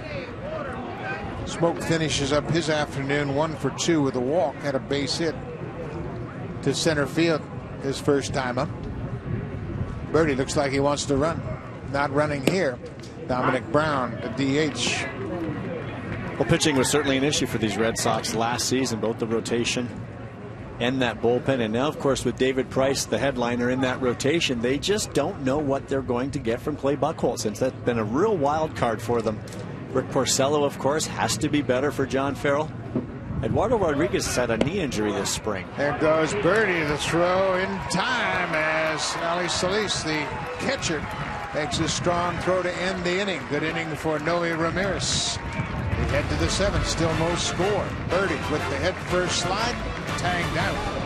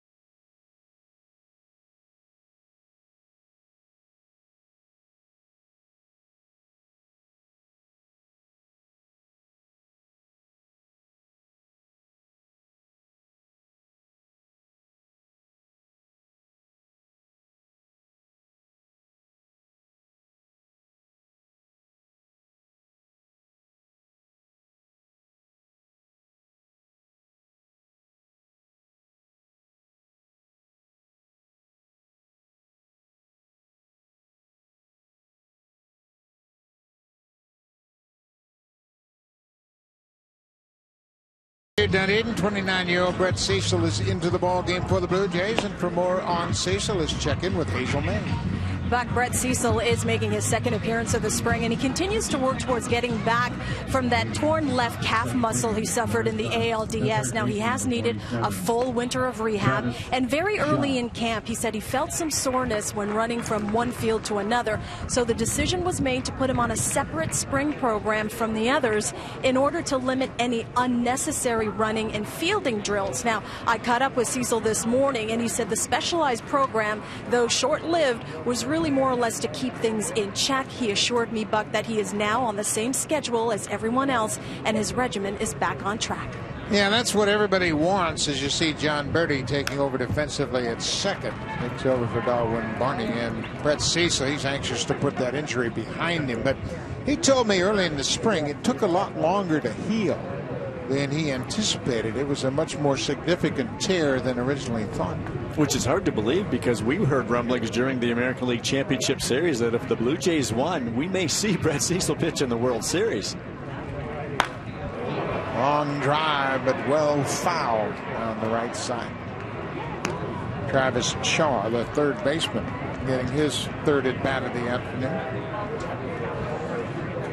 Yeah, you know what? Players will tell you, oh, it'll take me 10 days and I'll be right back and get back on the horse, but it's never 10 days and certainly never 15 days after the disabled list. Breaking ball, that patented curveball just misses. Boy, that's a great weapon for Brett Cecil. Well, it's patented all right, and we saw that an awful lot last year. There were times that I think hitters just know it's coming and they weren't hitting it. And that was against righties and lefties alike, not just a left-handed specialist. There's a strikeout as he goes right back to that hook and strikes out Travis Shaw.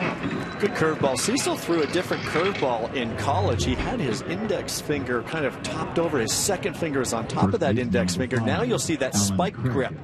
And it's kind of spike grip that he used when he got to pro ball.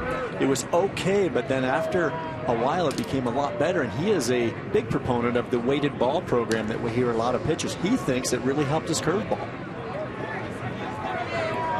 Allen Craig, the first baseman, takes one upstairs. Yeah, everybody relates the weighted ball program to increase velocity on your fastball, but why would it help his curveball? Well, I think what's happening is number one, it's strengthening, but it increases its arm speed. And so when he can really accelerate that arm with that spike grip, he gets a lot of bite and it's late break, as you can see with a lot of the swings from the hitters.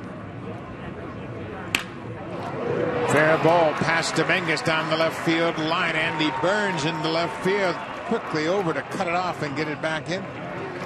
Andy Burns is an infielder, but we have seen this a lot the last couple of years. The Blue Jays want to see how versatile their players are. Well, I think players in general, but especially Andy Burns, I think the John Gibbons and his staff really like what they've seen from Burns. Now trying to make him more of a utility type player. He does a very nice job here, cutting this ball off quickly and getting it back into second base. It keeps the runner at first and the double play in order for Cecil. Brennan Boesch has struck out twice, both those strikeouts coming against Marcus Stroman, and now he's got to deal with a tough lefty in Brett Cecil.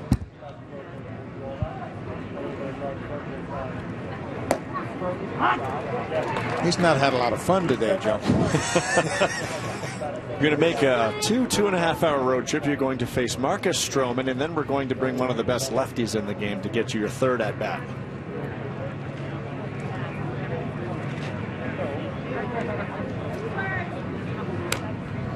Stays on that breaking ball and fouls it back. He knows he had a pretty good pitch to hit. Didn't make the most of it. You know what happens too as a hitter. Brennan Boesch got a good pitch to hit right there, but he was not in a good position to hit it. You can see it was almost a defensive swing, but that's what Cecil will do because he can also sneak that 92 mile an hour fastball past you as well.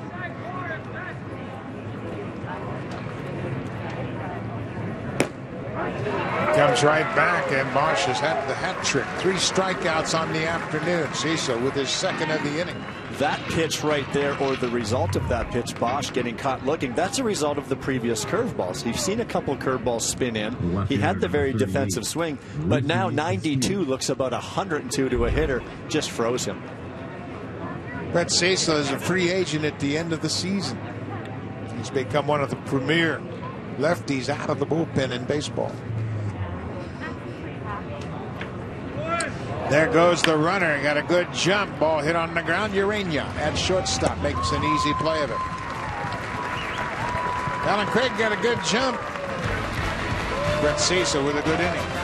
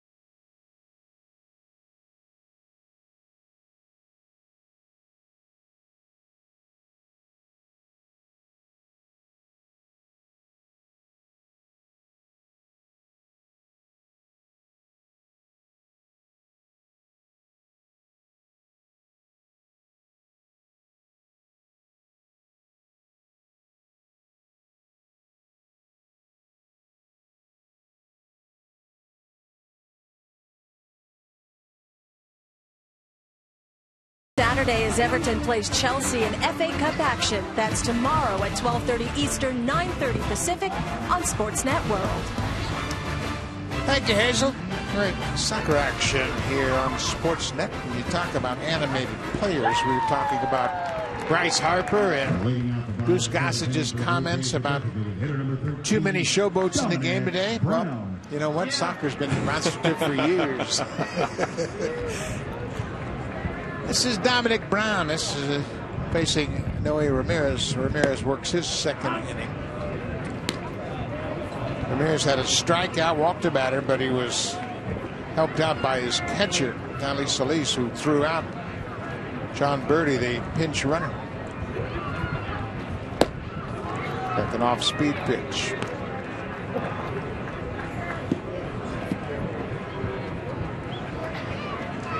The Red Sox have high hopes for their pitching staff. They're hopeful they turn things around. Last year, the Boston staff was 14th in the American League in ERA. They had dropped to a 431 earned run average, and John Farrell knows I don't care how much you hit. If you can't pitch, you can't win. You have to keep your team in the ball game and give them a chance. Domonic Brown chases that pitch off the plate. Strikeout for Ramirez, his second since entering the ball game. We were talking about that rotation last inning, and again, that the unpredictability from Clay Buchholz has really been a wild card for them. But Rick Porcello has to be better.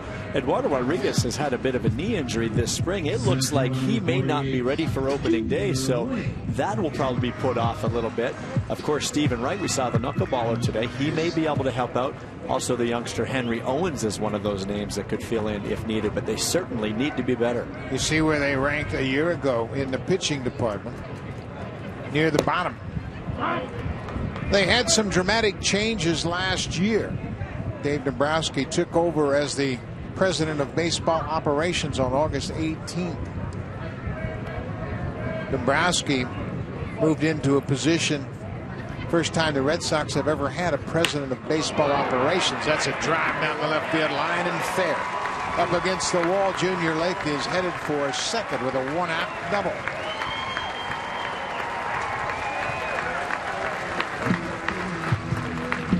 Not a lot to cheer about here this afternoon in a scoreless ball game. It's been all pitching, but Junior Lake runs into this pitch very well, gets the bat head out and drills it into the left field corner. Blue Jays trying to get on the board and get the first lead of this ball game. It's the first extra base hit of the ball game. Just the ninth hit overall for Junior Lake, his second double of the spring, and that'll end his afternoon. Roemon Fields takes over as the pinch runner at second base, and he can scoot Junior Lake vying for that extra outfield spot. The only real right-handed batter in that mix, and that's a good thing for him to be able to show his manager he can handle a right-handed pitcher as well. Matt Dominguez waves at that first pitch. Dominguez had a single down the left field line his last time up. He's one for two.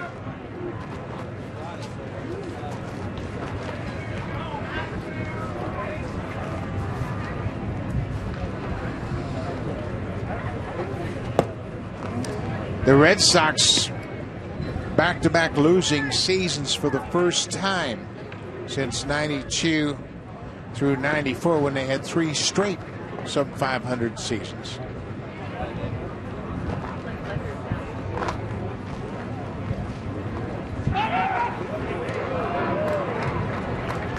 Well, daylight play put on there by the second baseman Marrero with his pitcher.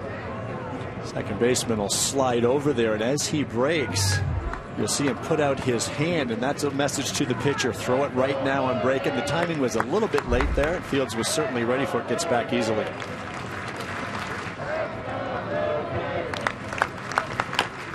Bounce foul by Dominguez. Those are plays that you'll see teams try to practice in spring training. Do you see them much during the season? No, but that one time you do it, you might be able to pick a runner off that perhaps is trying to get that extra step and steal third base in a situation like this in a tie ball game, the seventh inning, and you may get him by that step. The Red Sox were 35 and 41 in games against the American League East. For comparison's sake, the Blue Jays were 42 and 34. But Boston had the season advantage over the Blue Jays 10 to 9. Chopper toward third. Chris Dominguez makes the play. Nice play by the third baseman as Fields advances to third on the ground up. Good base running by Roemon Fields right there. Was chopped slowly to third. He knew that he could sneak in behind Dominguez and get there to advance that 90 feet. Some base runners will just see the ball hit to the left side and put on the brakes, but that's a good read by the youngster. Take the extra 90 whenever you can get it. Talking with third base coach Louis Rivera. Ezequiel Carrera has gone the whole distance in right field. He is 0 for 2 so far. Boy, he gets jammed on an inside pitch. That might have hit him if he hadn't have fouled it off.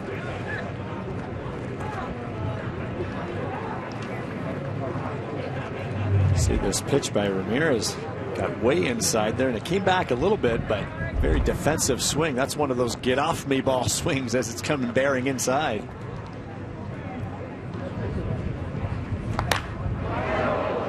This one hit sharply but well fouled.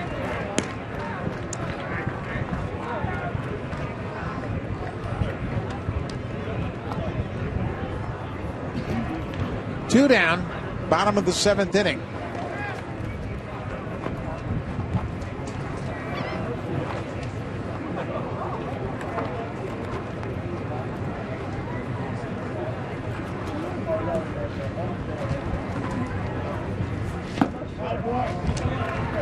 Red Sox won the World Series in 2013 and won 97 games, tied the St. Louis Cardinals with those 97 wins for the best record in baseball. And then they have fallen on hard times. Last place the last two seasons.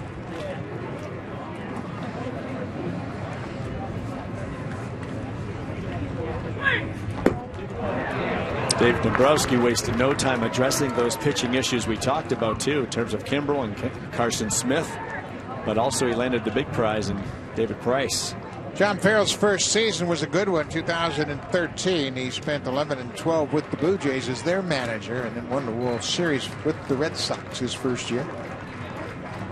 Boston trying to figure out just exactly what kind of team they are.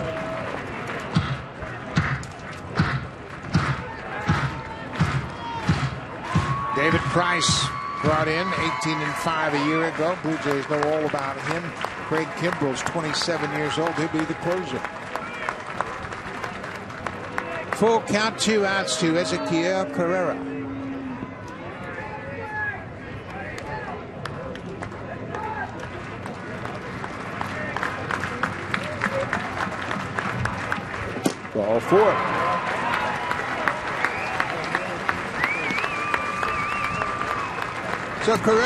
Carrera to first. Runners at the corners now. Two outs.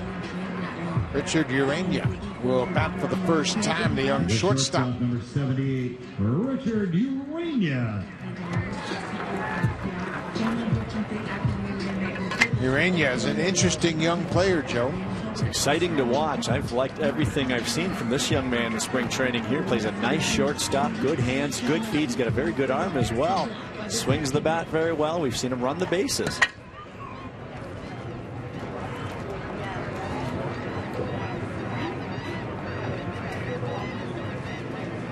Two outs.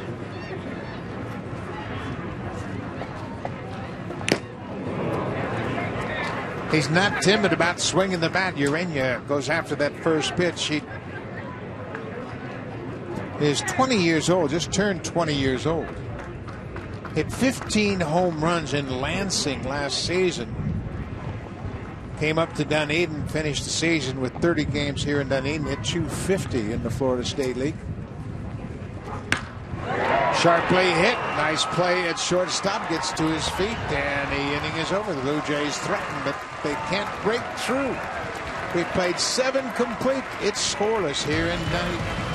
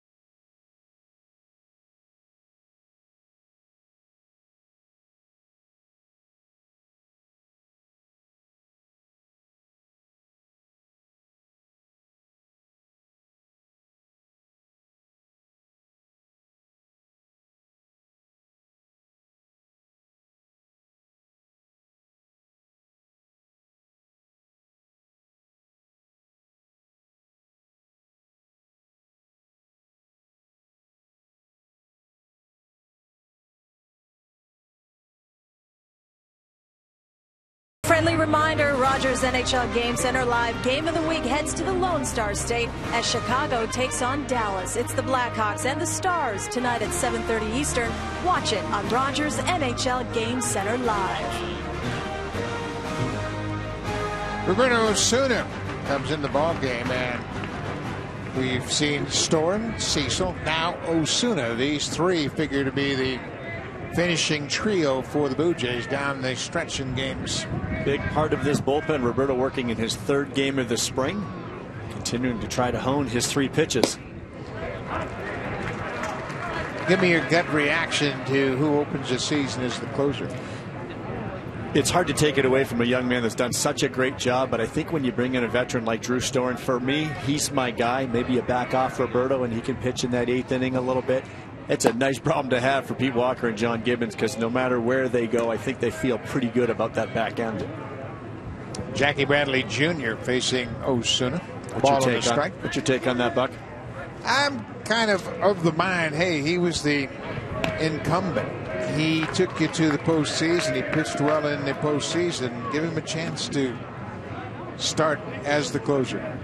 I think I'd have a tendency to go with Osuna. And if you do that, if there's any failure whatsoever, you've got Storen waiting in the wings. You pull back on Osuna in the eighth, so it's not a problem whatsoever. Very good back end for John Gibbons. Fly ball to left field. Andy Burns has a beat on it. Jackie Bradley Jr. is retired. He's gone 0 for 3 in this ball game. But Osuna, he is a pretty special young man. We saw him pitch in the most pressurized situations in the postseason, and he handled it flawlessly. He sure did. He threw aside just the other day here in the bullpen, and Edwin Encarnacion stood in because Edwin's due back sometime soon, just tracking some pitches. But when that session was done, Roberto called him over and he was talking to Edwin. How many times have we said already today these pitchers love to talk to hitters? What are they looking for? What did you see? Am I showing you anything? Am I tipping any pitches? It was a long conversation. When I talked to Roberto after, he said exactly that, just trying to get better. And you hear that a lot from these young players. This camp is totally different than any I've seen in a long time here with the Blue Jays in the exchange of information that goes on on a regular basis. Hitters, pitchers, everybody kind of talking things up. There was a little hesitation from Osuna, and you betcha he picked that up from Drew Storen. These conversations are going around the whole clubhouse. Started with Stroman today, and we talked about that quick delivery he's talking about. Storen comes in, and you know they've talked. But there's Osuna. Again, he's so mature again for his young age, and that's what he's always trying to do. How can I be better? Do you see Osuna as a starter down the road? I do. The only issue I have is this is a young man that's already had Tommy John surgery. So how much can you get out of him? Maybe by keeping him down there, you feel a little bit more protected that arm's going to hold up as opposed to putting him back in there and putting that wear and tear on his arm. What are the criteria you want to see from a young pitcher that suggests he might be able to handle that starter's role? He's got three great pitches fastball, slider, changeup. And I think that's the biggest thing. That's why I'm still a big fan and in favor of Aaron Sanchez being in the rotation because he's got the two great pitches with the moving fastball and curveball. Changeup's coming along as well. There's not a whole lot of pitchers in this game, and they are starters that have them. But how many good ones do we see that have three quality pitches, or in Marcus Stroman's case, four or five? It's just that you don't find them, and that's why that those are the guys that make an awful lot of money in this game. Says Deven Marrero, Osuna with a 2 2 count, one down. We're in the eighth inning.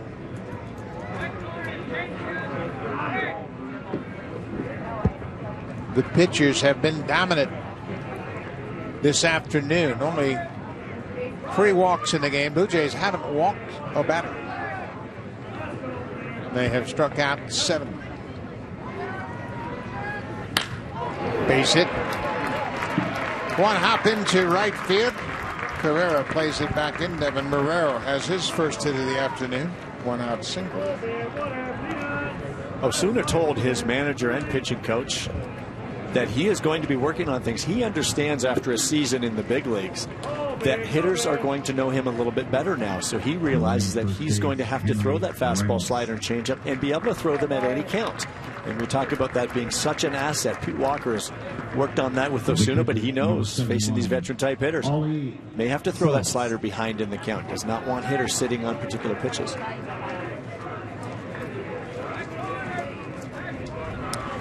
Ali Solis, the catcher, takes one down low. Pitch runner at first base is Henry Ramos. Takes over for Deven Marrero, finishes up one for three in the afternoon.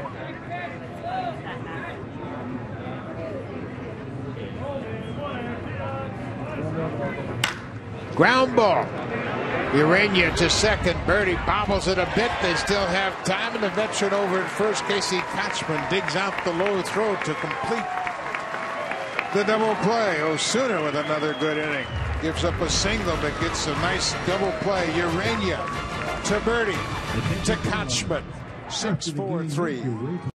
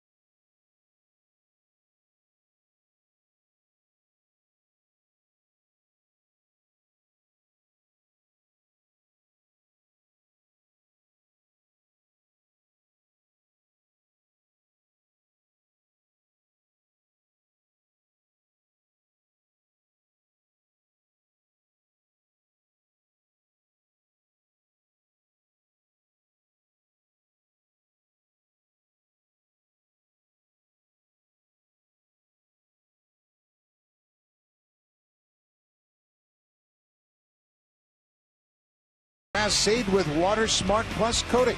Grows grass quicker and thicker. Guaranteed. Well, Marcus Stroman was on point today as he prepares for a full and healthy 2016 season. Had that breaking ball going, diving sharp down and into those left-handed batters. And he backdoored this cutter to the left-handed batter right there. Marcus had all of his pitches going. Russell has been outstanding working with him. We heard from Marcus throughout the broadcast. Didn't quite get his five innings of work scheduled for four today, but one went a little extra because he was so efficient. Yeah, this was his third outing of the spring. He went two innings, three innings, and now four and two thirds. And he's going to jump right up to six innings in his fourth outing of the season. This is Roman Mendez into pitch. You see his numbers between Texas and Boston a year ago.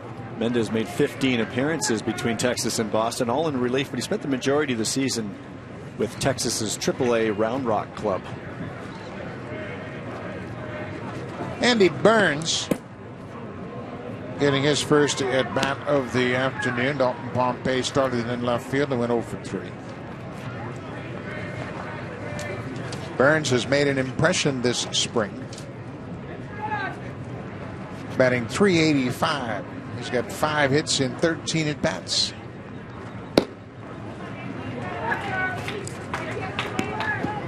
These guys getting their second opportunities in spring training. A little more relaxed, a little more part of the ball club. A year ago, Burns didn't have too many opportunities. He was just one for four in limited spring training appearances. Had a nice season, bouncing between Double A and Triple A, hitting over 290.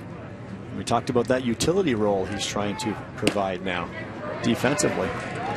Well, I think people can look around and see guys like Brock Holt and Ben Zobrist and the fact that they're not cubbyholed into one position. If you're athletic, why not open up the opportunities?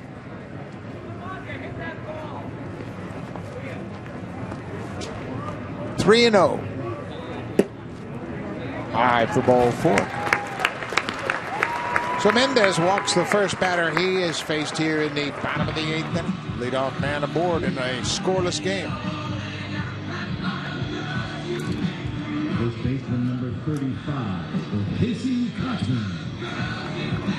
This is certainly not a typical Red Sox Blue Jays ball game. We mentioned the fact that they had averaged over 11 runs a game last season in their 19 meetings. Casey Kotchman, the veteran, his first at bat of the afternoon, batting in the two spot.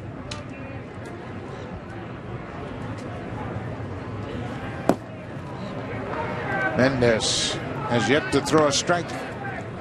Burns had doubled and Homer drove in four yesterday. And of course, then you talk about those opportunities and what a difference a year makes, as you said. Now, the next year in big league camp, you're trying to feel a little bit more comfortable, and you will get those opportunities. Talked about the injuries in this game. It's a great thing if you can play many positions. Huge asset for a manager to have in his club. There's a strike right on the corner. Casey Kotchman, 33 years old. He's got over eight years in big leagues. Started out with the Angels, made it to the big leagues in 2004.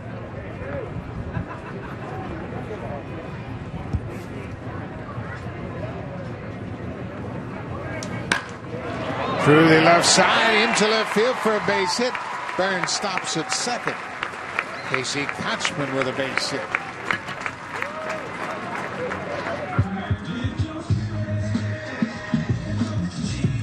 Good inside swing by Kotchman. By that, I mean keeping the hands inside the baseball, allowing it to travel, and he just shoots it through that hole. You see the shortstop Hernandez pitching that second base bag in double play depth in the middle of the infield. He's able to get that ball into left field. All eyes are focused on the third base coach, Luis Rivera. He's going through some signs, and this is certainly a bunting situation.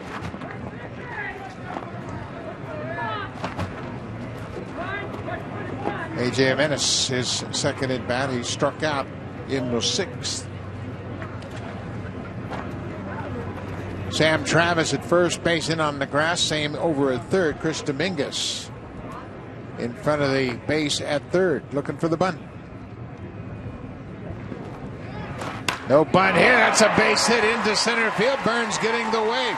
Here's the throw from center. It is offline, but Burns beats the tag of Solis as he gets back in ahead of the tag. The throw was up the first base line, and AJ Jimenez drives into first run of the ball game. He got that first pitch fastball in that bunt situation. And he was not bunting. John Gibbons allowing him to swing the bat. You don't see it a whole lot in these spring training games. Watch the jump by Andy Burns at second base. He was gone on the crack of the bat. That's why it's so important. This is a ball that a lot of base runners may have held up just in case the center fielder catches it in the air. That jump that Burns got at second base is the reason why he is safe at home plate. What a day for Andy Burns again today. Doing a lot of little things that impress the manager and the coaches. Good read off the bat leads to the first run of the ball game. Second and third, nobody out. The infield drawn in for Boston. Jon Berti getting his first at bat. Berti entered the game as a pinch runner for Justin Smoak. Was thrown out trying to steal in the sixth.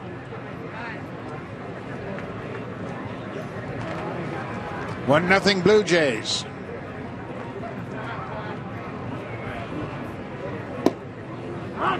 Breaking ball in there for a strike.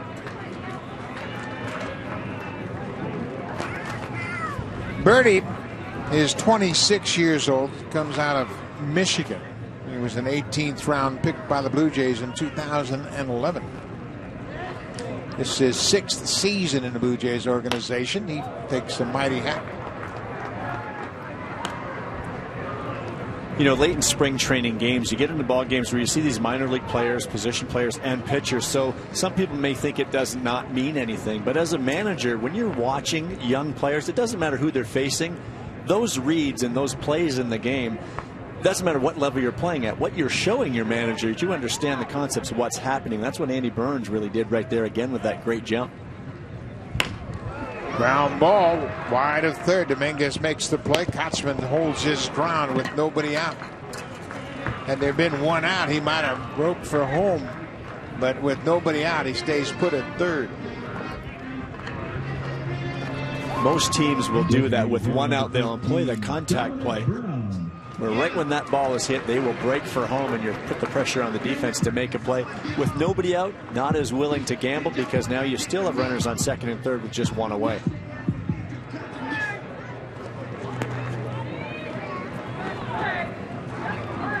Infield remains drawn in. This is Domonic Brown. He's DH'd all afternoon. Off the end of the bat, cued out of play. He is 0 for 2. He walked in his first plate appearance back in the second.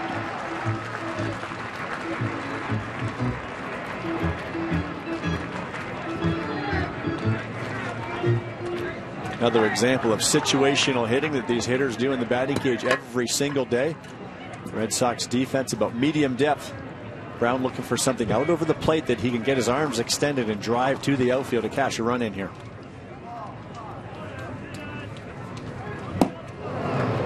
Got to chase the ball inside.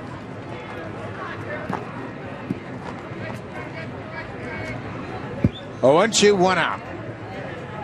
Blue Jays have scored the first run of the game here in the bottom half of the eighth inning. With two strikes, that Red Sox infield will sneak in a little more shallow here, trying to cut down that runner at home.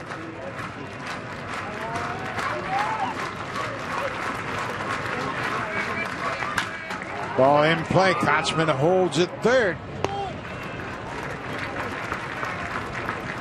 Domonic Brown grounds out, two down now. So no contact play right there, but Casey Kotchman doesn't run real well. But what you can do there is even if you have the contact play on and you run into it out at the plate, you still end up with runners on first and third and two outs. But the, the reason why you do that contact play is to put that pressure on. Maybe the defense makes a mistake. Maybe the infielder bobbles the ball or he doesn't throw a clean strike home. Now you still have runners on second and third. So it, it's a gamble, but at the same time, instead of second and third, you'd have first and third. Not a big difference. You may see the contact play, I think, during the season there. Roemon Fields entered the game as a pinch runner in the seventh. Short hop glove by Ali Solis, the catcher. Well, you talk about putting pressure on the defense. We saw it play itself out both in the ALDS, the division series. Texas couldn't play catch in the seventh inning. And then in the World Series, Lucas Duda couldn't make a good throw to home, and the, uh, the Royals, excuse me, won the World Series. This is popped up into center field. Uh, the Blue Jays get a run on the board. They strand a pair. They've taken a one nothing lead. We'll go to the ninth at a pitcher's duel. Blue Jays get an RBI from their catcher AJ Jimenez. About that time to say goodbye here.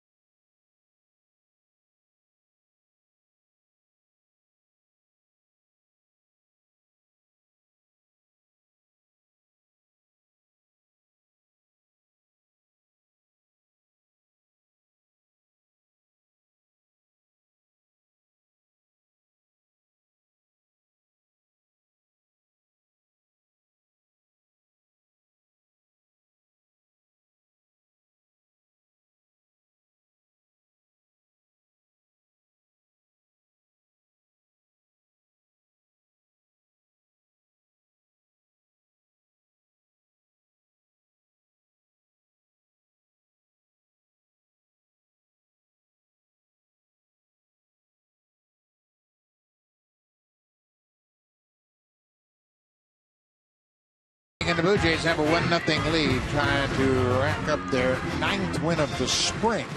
And it's been all about the pitching. A.J. Jimenez, the young catcher with an RBI single, has given the Blue Jays a 1 0 lead, and now they'll turn it over to their Rule 5 pitcher, Joe Biagini. And he is a guy that Blue Jays are going to get a good look at this spring because if they don't keep him, they have to offer him back to the San Francisco Giants. And I think if they don't keep him, the San Francisco Giants will take him back. A good young arm. Had a nice season at Double A last season with the Giants pitching in just his third game this season. This spring season, fastball, curveball, changeup guy. I talked to Joe yesterday, and one pitch he's really trying to develop is a cutter. He has the same agent as Houston Astros pitcher Scott Feldman, who we know throws a very good cutter. He was able to work out with him a little bit in the offseason and change that grip. He's got a four seam grip on that pitch, but he offsets his hand just about to one or two o'clock, and he just lets it go, and he feels that he's getting a little cut. It's always nice to have that just cutting away from those right handers and into the lefties. He's got a heavy sinker. He's a big guy. Gets on top of the baseball. Biagini is 6'5 and weighs about 240 pounds. And well, he looks like he could last all season long working out in that bullpen. A guy that could really be an asset. The Blue Jays have pitched very well this afternoon. Marcus Stroman, the starter, went four and two thirds. He gave up just three hits, didn't walk a batter, and struck out four.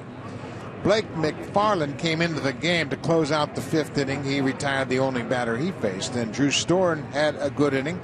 No hits, no walks, and a strikeout. Brett Cecil, an inning. He allowed a hit, struck out two. Osuna pitched an inning, gave up a hit, nothing more. And now Joe Biagini trying to close it out. Misses with the first pitch upstairs.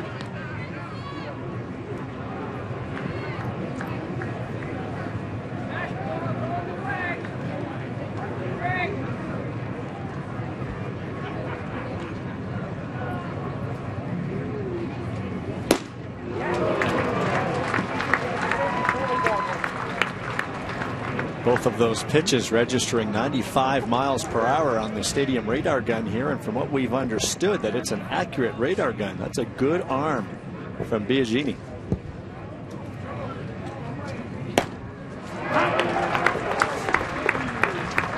The batter is Bryce Brentz, who came in the ball game defensively, taking over for Mookie Betts, who started.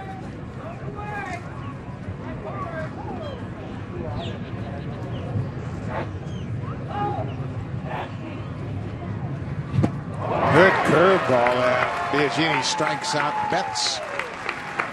That's a good pitch, Joe, from his arm angle. It's a very good pitch. We talk about how big Joe is, and he again uses that leverage to work downhill. He gets on top of this curveball. It's 12 to 6, straight down. And again, when we talk about that 95 mile per hour fastball, and then you drop that with that much depth on the pitch, that's a lot to cover for a hitter. Great pitch.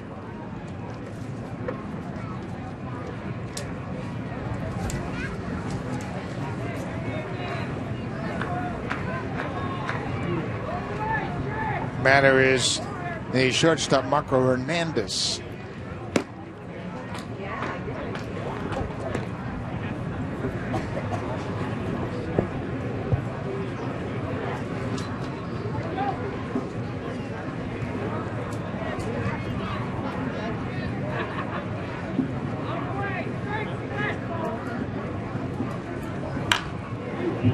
Genie evens the count of the ball on the strike.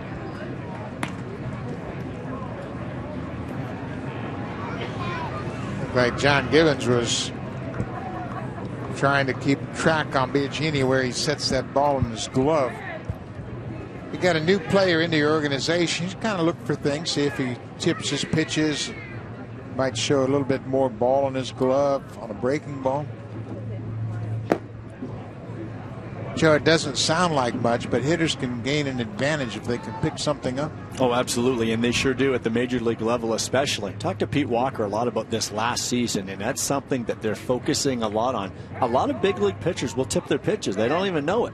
With all the video out there, but he's making it a point now, even in the minor leagues, to have his pitching instructors be aware of that. You mentioned that last year, according to Walker, they had to clean up everybody's delivery. Everybody was doing something that tipped off what they were throwing, including David Price. Absolutely. You wouldn't know it, but when you see a good pitcher like that struggle sometimes against a particular team, you have to investigate it. There could be a reason besides the fact that they're just catching him on bad days. Pete is all over that analysis. Cut on and missed as Biagini strikes out Hernandez. Two up, two strikeouts for Biagini. Biagini is showing a nice combination of a power arm along with that breaking ball. And you know, you pitch out of the bullpen, you don't need four pitches. If you have a power arm and a good curveball, you see a lot of good two pitch pitchers coming out of the pen. This will be an interesting decision for the Blue Jays as we proceed here towards the end of March. Biagini has been a starter throughout his professional career. That's why he's been able to develop that curveball. That's a very good point. As a starting pitcher, you're allowed more innings to work on those pitches. If you're a reliever in the minor leagues throwing an inning at a time, there's not a lot of time for development. Fly ball deep to center fields on the run. Looking up. This ball is gone. Sam Travis, with one swing of the bat, has tied it up here in the ninth.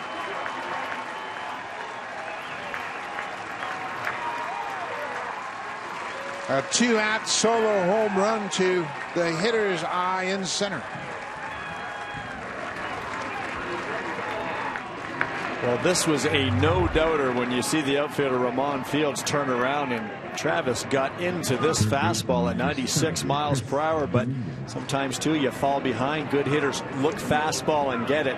He left that one a little elevated in the zone. Travis, with just 16 home runs in two minor league seasons, takes Biagini deep here. There's a bouncing ball to the shortstop. Urena takes his time. Biagini gives up a two-out home run to center. The Red Sox have tied it. We'll go to the bottom of the ninth. It's a 1-1 game.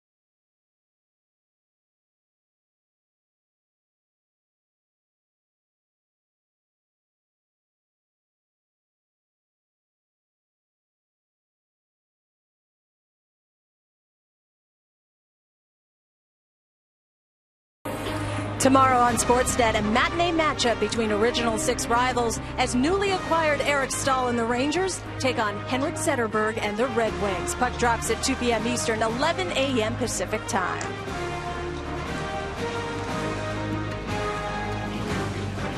New pitcher into the game for Boston. Now a tie ball game is Chandler Shepherd. Shepherd pitched in 35 games at between two levels of A ball in the Carolina League, also the South Atlantic League last year for the Red Sox. 13th round pick out of Kentucky back in 2014. David Adams.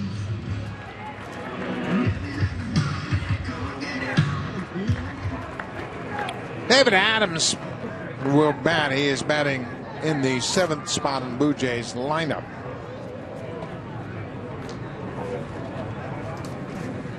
Adams having a good spring. He's four for nine with a couple of doubles and a home run.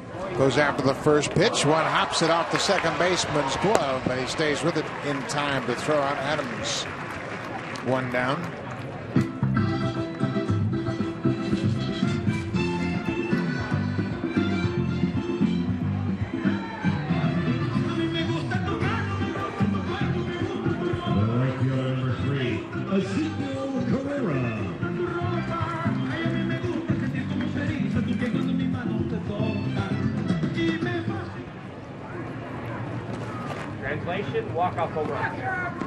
Ezequiel Carrera has gone the distance in right field. He's 0 for 2 with a walk. Takes a strike.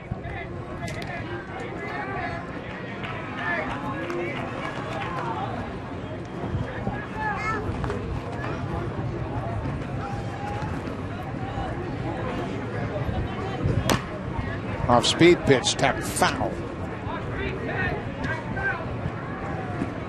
The Blue Jays have played a tie here in spring training. They played a tie with the Phillies early in the spring. Officially, they are 8 1 and 1 for the spring.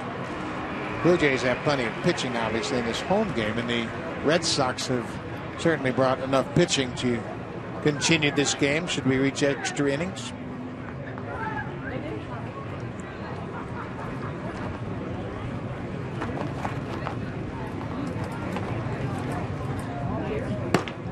High breaking ball.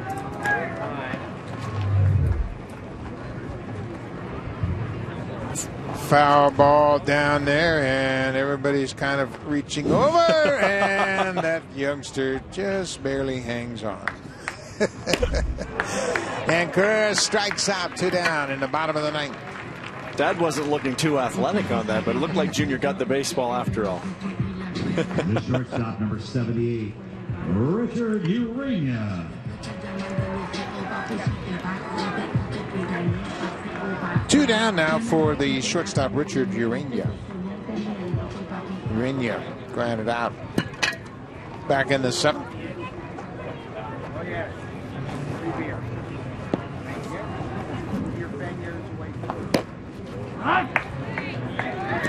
1-1 ball game. The Blue Jays have out hit the Red Sox 7 to 6.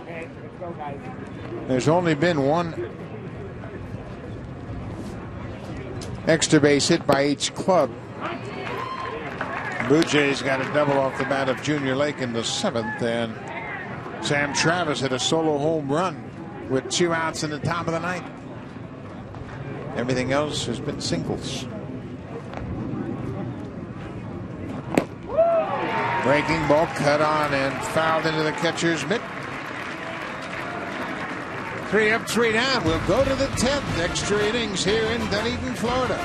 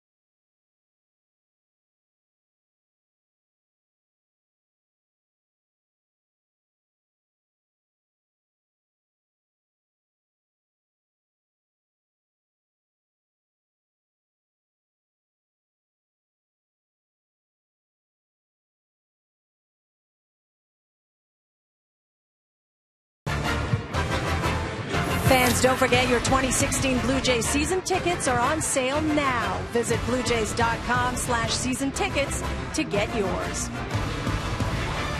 Lots of great, exciting games coming up at Rogers Center, so make sure you check out the schedule. Look at the season tickets available. Boston Red Sox will be in to open up the 2016 portion of the home schedule. Anthony Alford, the young outfielder, takes over defensively in right field for Ezequiel Carrera. Chad Girodo, the lefty, is on the mound now for the Blue Jays. Girodo working in his third game of the spring. He's been uh, a little bit of an eye opener as well for John Gibbons in terms of a left hander. Through three levels last year, had a very nice season, but especially tough on left handed hitters. If you're looking for a left handed specialist, could be in the mix at some point this season. Well, he really becomes important with Aaron Loup on the shelf right now. So every left hander in camp is getting a little extra look from the coaching staff. Loup is dealing with forearm tightness. Breaking ball lifted high in the air into center field. Roemon Fields is there. Girodo is 25 years old. He was a senior sign out of Mississippi State, drafted in the ninth round by the Blue Jays in 2013. Joe, it's an interesting story how he developed this sidearm delivery. Well, out of college, too. It's his senior year, and he wasn't having a whole lot of success. So his coach suggested that he maybe drop down a little bit and change that angle. The funnier part is, remember when I asked him, I said, Why did you change it? He said, Because I wasn't getting anybody out. He had to try something, and it's really something that he's kind of found himself. It's a, it's a real weapon. And talked about those numbers against left handed batters. Great success last year, and I don't think Pete Walker is paying close attention to that.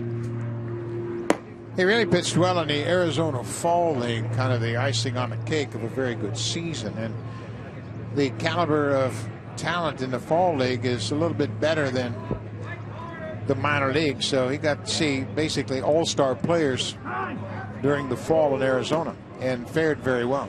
Fastball slider guy. He said he'll mix in a changeup on occasion against right handers, but if we do see him face a lefty, we'll see a wipeout type slider, but very difficult for hitters to handle.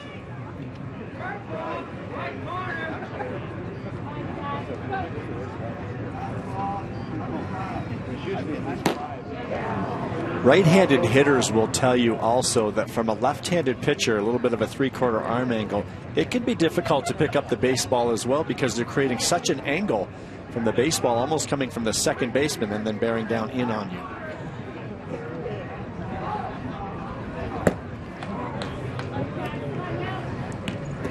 Thing that was kind of a standout number for Girodo. He didn't have many walks, walked nine batters, struck out 58. Managers love that.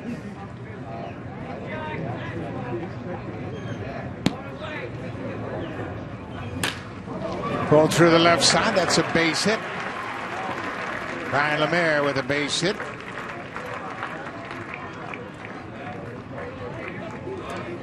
Not a bad pitch by Girodo here.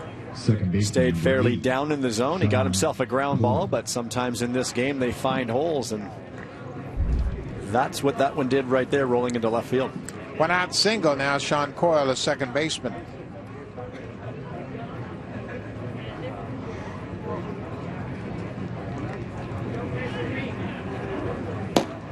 There's that late breaking slider in there for a strike.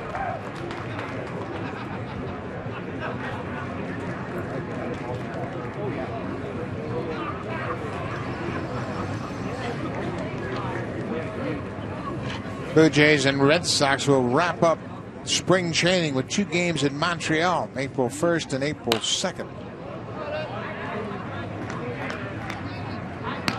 Always a great trip for the Blue Jays and John Gibbons' team. It's a big league atmosphere for sure. In Montreal, they do a great job promoting the two games and the added draw of the Boston Red Sox. So many fans in Eastern Canada, big Red Sox fan, so it should be a raucous event.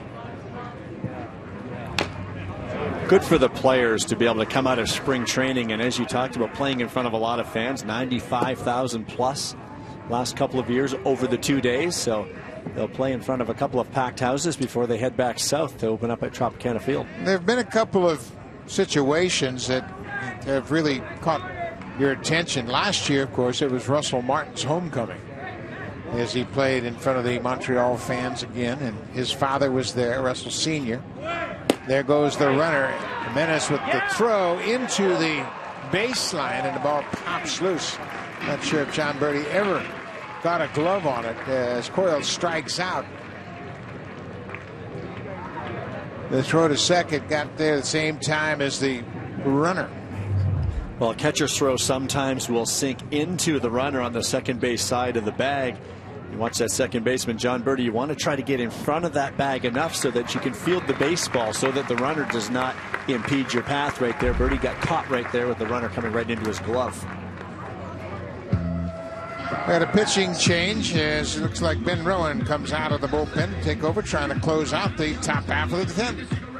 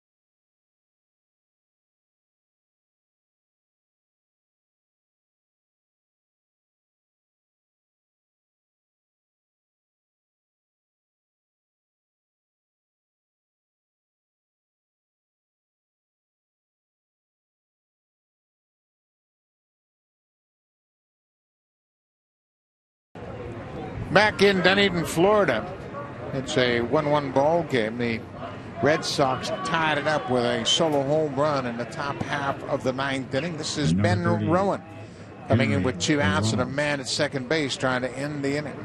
Ben Rowen, is a submarine type pitcher. He's a sidearm pitcher in high school, but his senior year, he went way down under. You'll see his knuckles almost scraping the dirt. A nice season last year between Double A and Triple A with the Orioles Cubs and ended up in Buffalo with the Blue Jays. Breaking ball on the outside corner to Henry Ramos. Then gets so far down. Watch how close his hand comes down to the ground. What he's trying to do is get good sink on his fastball. He'll, he, what he's trying to achieve is sink that goes straight down and trying to induce, induce ground balls. He'll have a fastball, slider, and changeup from down there. A late swing and fouled into the seats.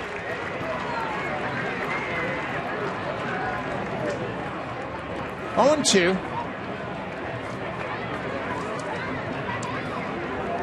Forty-eight games a year ago between rookie league A ball and Double A for Ramos.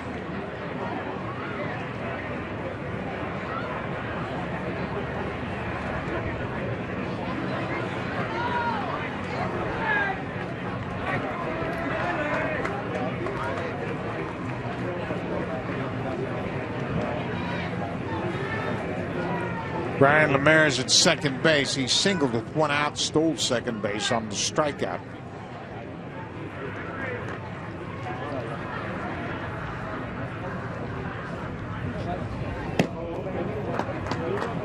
One and two now. Burns, Fields, and Anthony Alford from left to right in the outfield defensively for the Blue Jays. There have been changes all over the diamond for both ball clubs.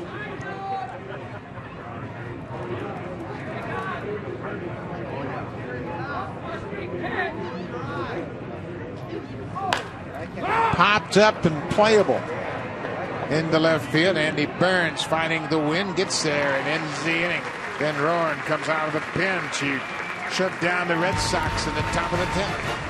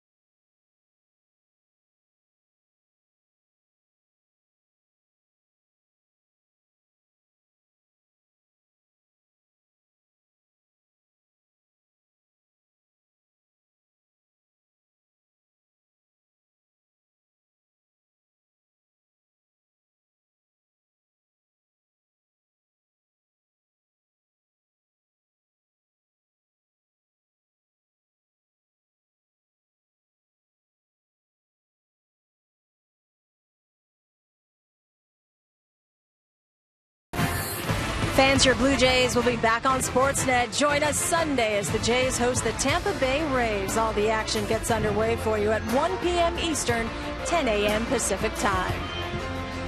Hey, well, that's going to be a good pitching matchup, too. Blue Jay fans will get a chance to see Aaron Sanchez. He's going to start that game on Sunday, and then he's going to be followed by Gavin Floyd.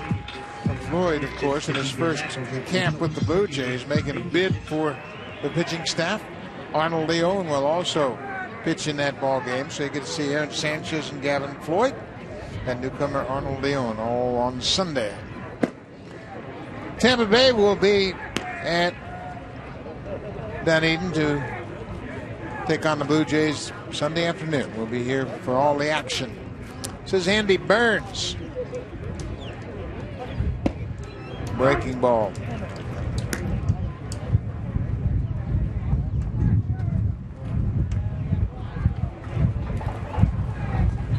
Chandler Shepherd in his second inning of work.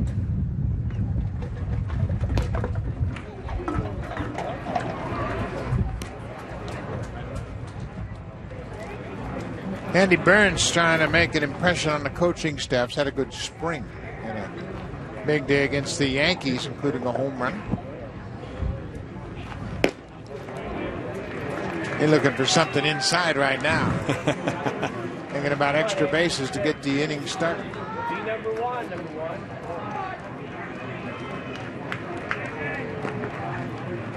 Three and one to Burns.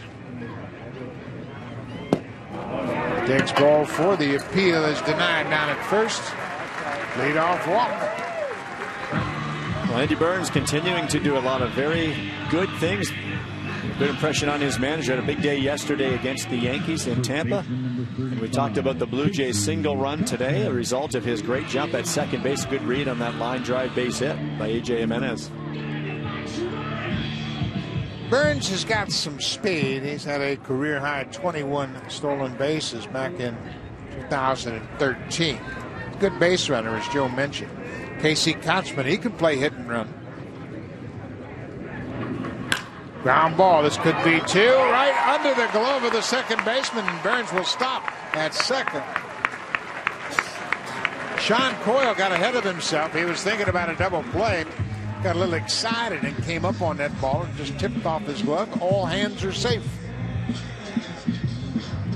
It's about as routine as it gets. Ground ball to second baseman. Easy 4 6 3 double play, but Looked like Coyle just got caught up right there, a little stationary. You'll see infielders sometimes get stuck if those feet are planted, and that's exactly what he did. If your feet get stuck, your hands become rather stationary as well. You want to kind of keep a rhythm, almost like a hitter does. Keep those feet moving, hands loose. Ball just off his glove. This is the way the Blue Jays scored their run in the eighth. Burns walked, Kotchman reached, and Jimenez drove Burns in, single to center. No sign of a bunt again. He was in a bunt situation. The Blue Jays may have decoyed the Red Sox because they really took a long time to go through their signs. And John Gibbons let Jimenez swing away, and he picked up an RBI single. Luis Rivera, the third base coach, will get signs from the manager, John Gibbons, in the bench in that first base Blue Jays dugout. High breaking ball.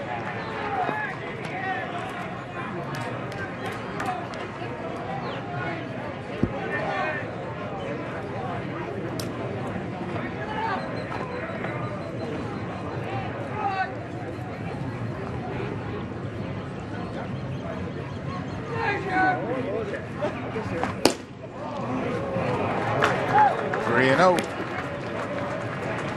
Berti is on deck.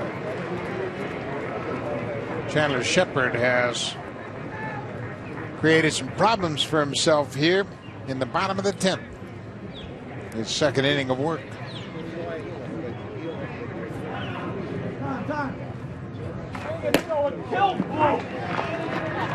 Menace may have requested time, but it was too late for the home plate umpire, Mark Carlson, and Menace took a strike.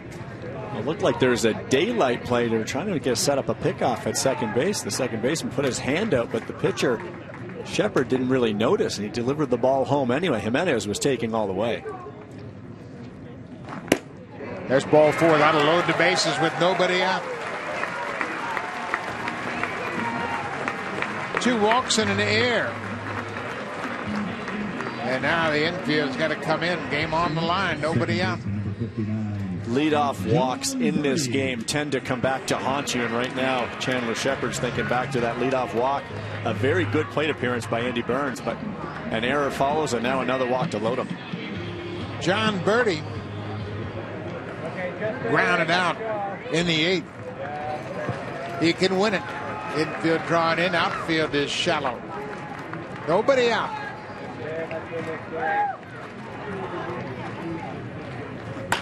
Bouncing ball through, and the Blue Jays are going to win it. Andy Burns comes in to score. Jon Berti goes after the first pitch and picks up the RBI single, and the Blue Jays win it two to one in ten. Well, Jon Berti was not going to waste any time, and you get into big situations like that. A lot of hitters will tell you, especially with a struggling pitcher on the mound, look for the fastball. The last thing this pitcher wants to do here is fall behind. Berti jumps on that first pitch, didn't hit it real hard, but he bounced it up the middle for the big Blue Jays victory. Well, the walks didn't help, but certainly the air looms large as the Blue Jays take advantage of the air at second base. They win it in extra innings, two to one. Their ninth win of the spring. We'll be back on the air Sunday afternoon. It all starts at 1 Eastern Time, 10 a.m. Pacific Time on Sportsnet. You get a chance to see Aaron Sanchez make the start on Sunday. Gavin Floyd will follow Sanchez into the game. It's all about pitching this afternoon. The Blue Jays win a good outing for Marcus Stroman. It was four and two thirds. Great day in Florida. Thanks for watching. See you Sunday.